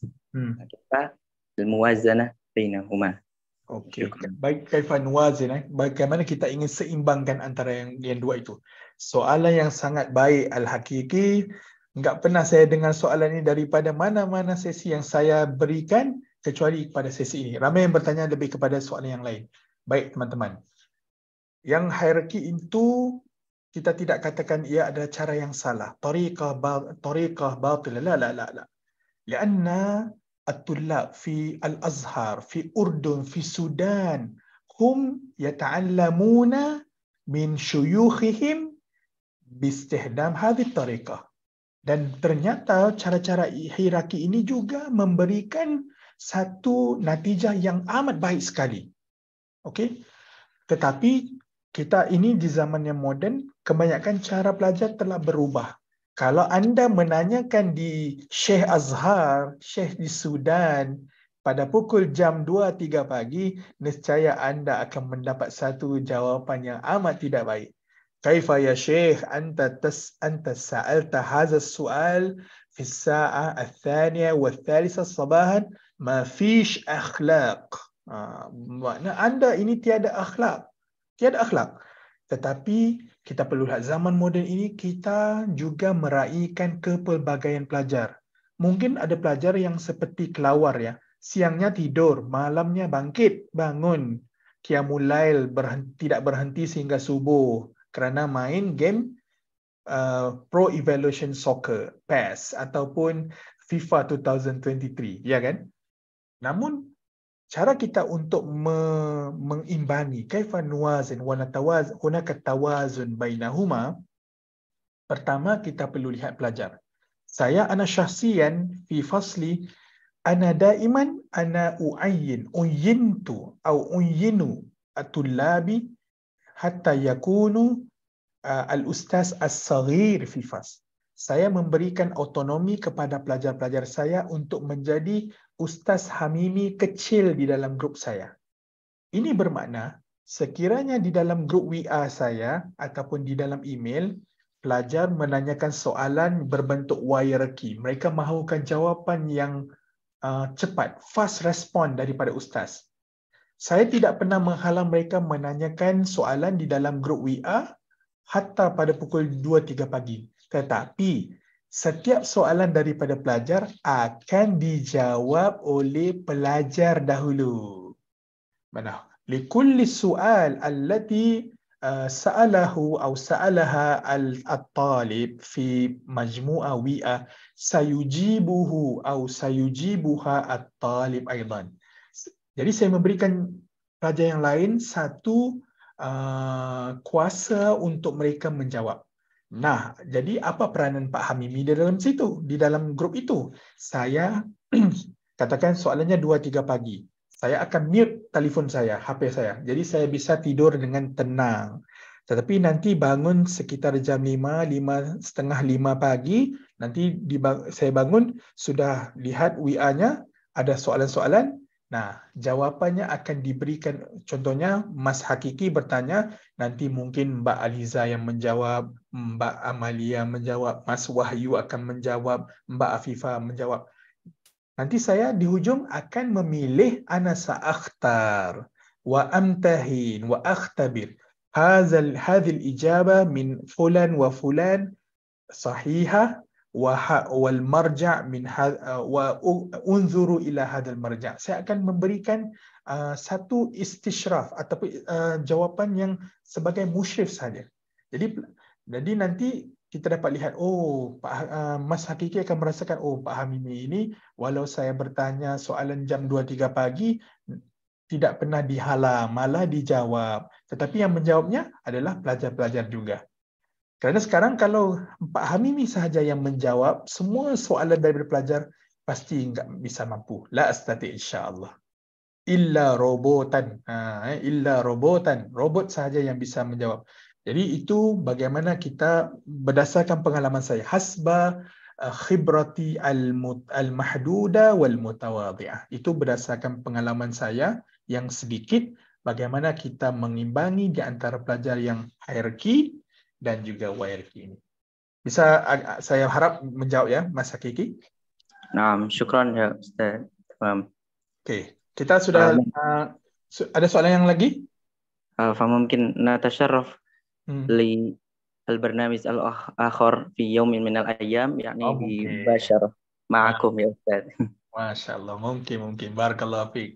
Uh, eh, kalau itu yang dimaukan bermakna sedikit muhadarah ini memberi kesan puasir ala saya tidak bisa mengubah anda tetapi men, bisa sedikit sebanyak menjentik uh, strategi yang kita masukkan pada zaman ini. Okey, kita lihat kepada 12 cara kita, kerana soalan yang dinyatakan Doktor, bagaimana kita ingin meningkatkan uh, musyarakah pelajar, musyarakah participation, participation. Yang pertama, kita lihatkan mereka dengan goal of activity. Lihatkan mereka apa tujuan kita membuat aktivitas ini. Kedua, strategize, do teamwork. Yang ketiga, bonding. Let the student express themselves. Mas Hakiki ingin berkata sesuatu, silakan. Tafaddal, tafaddali, tafaddal. Itu bonding. Yang keempat, demonstrate how to participate. Jangan hanya pandai menyuruh pelajar silakan silakan tetapi Pak Hamimi enggak terangkan kepada kami bagaimana kami ingin partisipasi di dalam acara ini, di dalam muhadarah ini. Tunjukkan mereka. Yang kelima, gamify. Yang keenam, share. Kalau ada masa di dalam kelas, suruh pelajar untuk share apa yang mereka faham. Yang ketujuh, berikan time. Kalau tadi kenapa kahut saya letakkan time? Supaya ada sense of urgency. Jadi pelajar ingin masuk-masuk. Okay, kita pun kira 10, 9, 8. Nah, jadi bila ada kira-kiraan begitu, pelajar akan rasa seronok dan juga termotivasi untuk participate. Yang seterusnya, grade. Jangan letakkan markah di dalam semua perkara yang ingin kita minta pelajar lakukan. Kadang-kadang ada benda yang kita kata silakan pelajar-pelajar, saya tidak letakkan markah. Jangan letakkan grade A, B, C, C, D di dalam sesuatu tugasan supaya pelajar lebih seronok melakukannya. Fail, show them you don't know everything and it's okay to fail. Kalau anda salah, it's okay. It's okay. Kita belajar lagi. Kalau anda gagal, insya-Allah kita belajar lagi, kita belajar lagi. Belajar daripada kesilapan. Resources berikan mereka masadir wal maraji al kafiyah survey tadi yang kita lakukan survey dan juga give them a real life problem. Berikan mereka masalah. Jangan berikan mereka al masalah wal masyakil khayaliyah. Walakin nahnu nahtaj ila al masyakil al waqi'iyah. Real problem. Okay? Jadi ini adalah uh, slide saya yang terakhir. Barakallahu fikum ya muallimi al-lughatil arabiyyah. Saya doakan semua semoga maju jaya dan moga-moga satu masa nanti bisa saya singgah ke UIN Saizu. Saya akhiri dengan satu video yang mungkin anda bisa ataupun telah tonton sebelum ini. Moga-moga kita dapat memberikan satu lagi um, yang lebih hands-on bagaimana kita dapat menggunakan teknologi ini daripada uh, introduction, irsyadat, wa ta'limat, kemudian kaifa nu'iddu al-mawad ta'limiyah. Bagaimana, how do we design and develop our learning resources dan bagaimana kita melakukan assessment ataupun kita katakan uh, testing and evaluation kepada uh, learning outcome ataupun nitaj ta'allum yang telah kita buat untuk pelajar-pelajar kita. Terimalah video yang terakhir sebagai penutup kata pada pagi ini.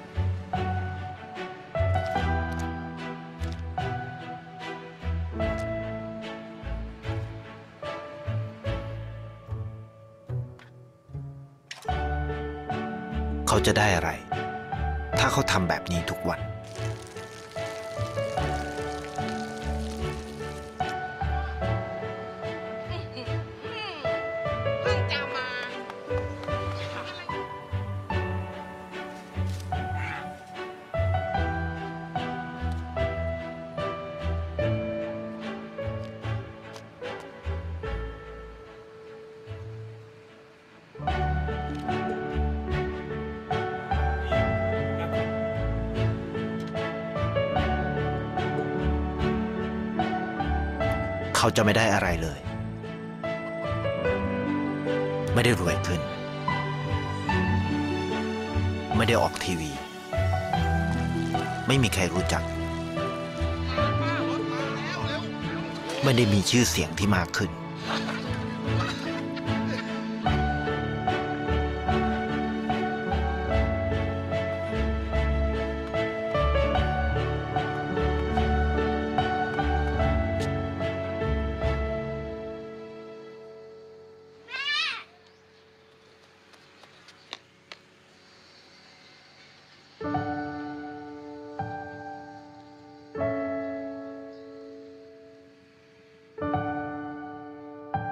สิ่งที่เขาได้ คือได้แค่ ความรู้สึก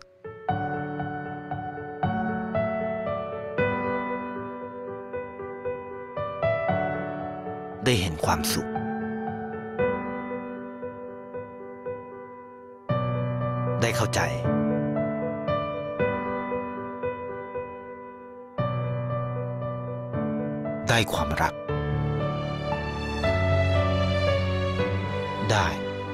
สิ่งที่เงินซื้อไม่ได้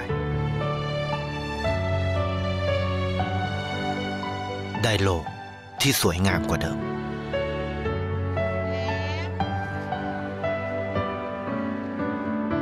ในชีวิตคุณ อะไรคือสิ่งที่คุณต้องการมากที่สุด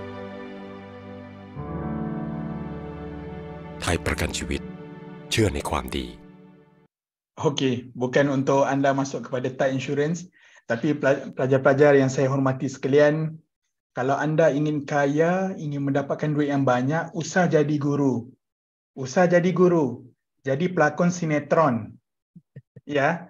Tetapi apa yang kita dapat sebagai guru bukanlah kemasyhuran dan juga syaraf. Tetapi apabila kita berjumpa anak didik kita nanti apabila mereka sudah besar, kita jumpa mereka di toko-toko besar, di pejabat-pejabat uh, kerajaan, mereka menjadi orang yang besar pada waktu itu, ada sedikit kemanisan yang akan tinggal kepada kita sebagai warga pendidik, sebagai seorang murabbi. Jadi teman-teman, saya tinggalkan kalau ada teman-teman ingin mengikuti bahan-bahan pengajaran saya, lihat saja di YouTube, type saja Dr. Dr. Hamimi. Uh, di sini saya ada berkongsi bahan-bahan pembelajaran. Mungkin teman-teman bisa mendapat uh, bagaimana cara kita melaksanakan bayar, uh, pembelajaran dan juga bisa kita buat supaya pelajar-pelajar kita dapat belajar secara online dan juga offline. Mereka boleh download video kita, pulang ke desa, pulang ke kampung mereka, mereka bisa belajar. Dan tadi untuk Hans Rosling, saya bisa menunjukkan um, ini ya, caranya juga yang saya gunakan. Assalamualaikum warahmatullahi wabarakatuh, tuan-tuan puan-puan. Hari ini kita nak bincangkan sedikit berkenaan dengan apa yang kita, bila kita uh, fairly Kemudian wajbuni.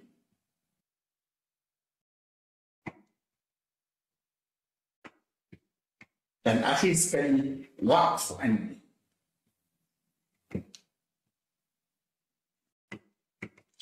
Baik, jadi seperti yang saya sebut tadi, sebenarnya kita ada 8 doa. Tetapi kita ada Okey, ini adalah satu yang uh, di Usim kita ada membeli ni tapi berkemungkinan saya katakan uh, di Win Saizu anda boleh menggunakan PowerPoint saja tetapi ini ada lightboard eh lightboard uh, kalau anda ingin bertanyakan apa yang Dr. Hamimi gunakan ini dipanggil sebagai lightboard.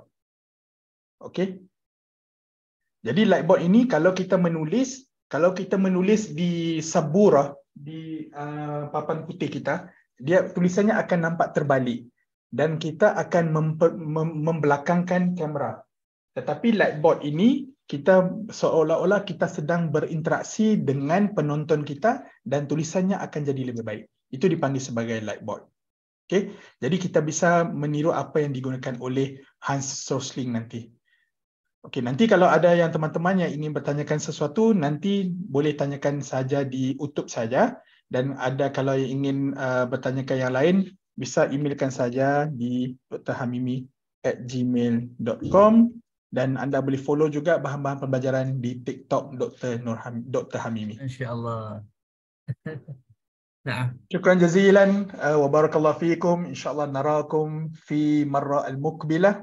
آه، نسأل الله تعالى أن يوفقكم ويرزقكم إن شاء الله.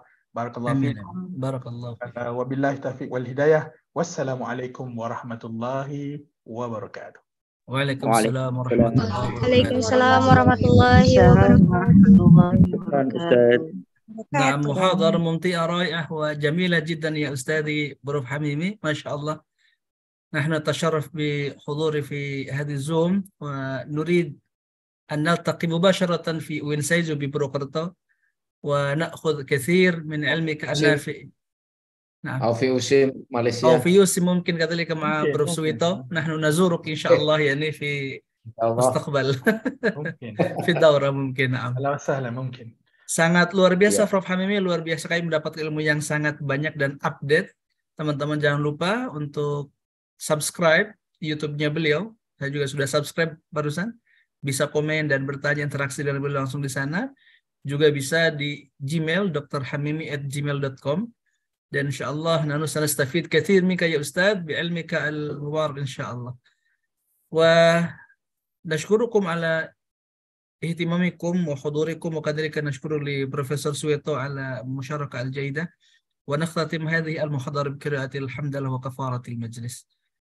الحمد لله رب العالمين سبحانك اللهم وبحمدك أشهد أن لا إله إلا أنت أستغفرك وأتوب إليك dan akhiran terakhir teman-teman yang ingin mendapatkan sertifikat bisa mengisi Google Form yang sudah saya share dan terima kasih wassalamualaikum warahmatullahi wabarakatuh وعليكم وعليكم السلام ورحمة الله وبركاته شكرا شكرا كثير يا بروف حميمي والجميع شكرا إلى اللقاء مع السلامة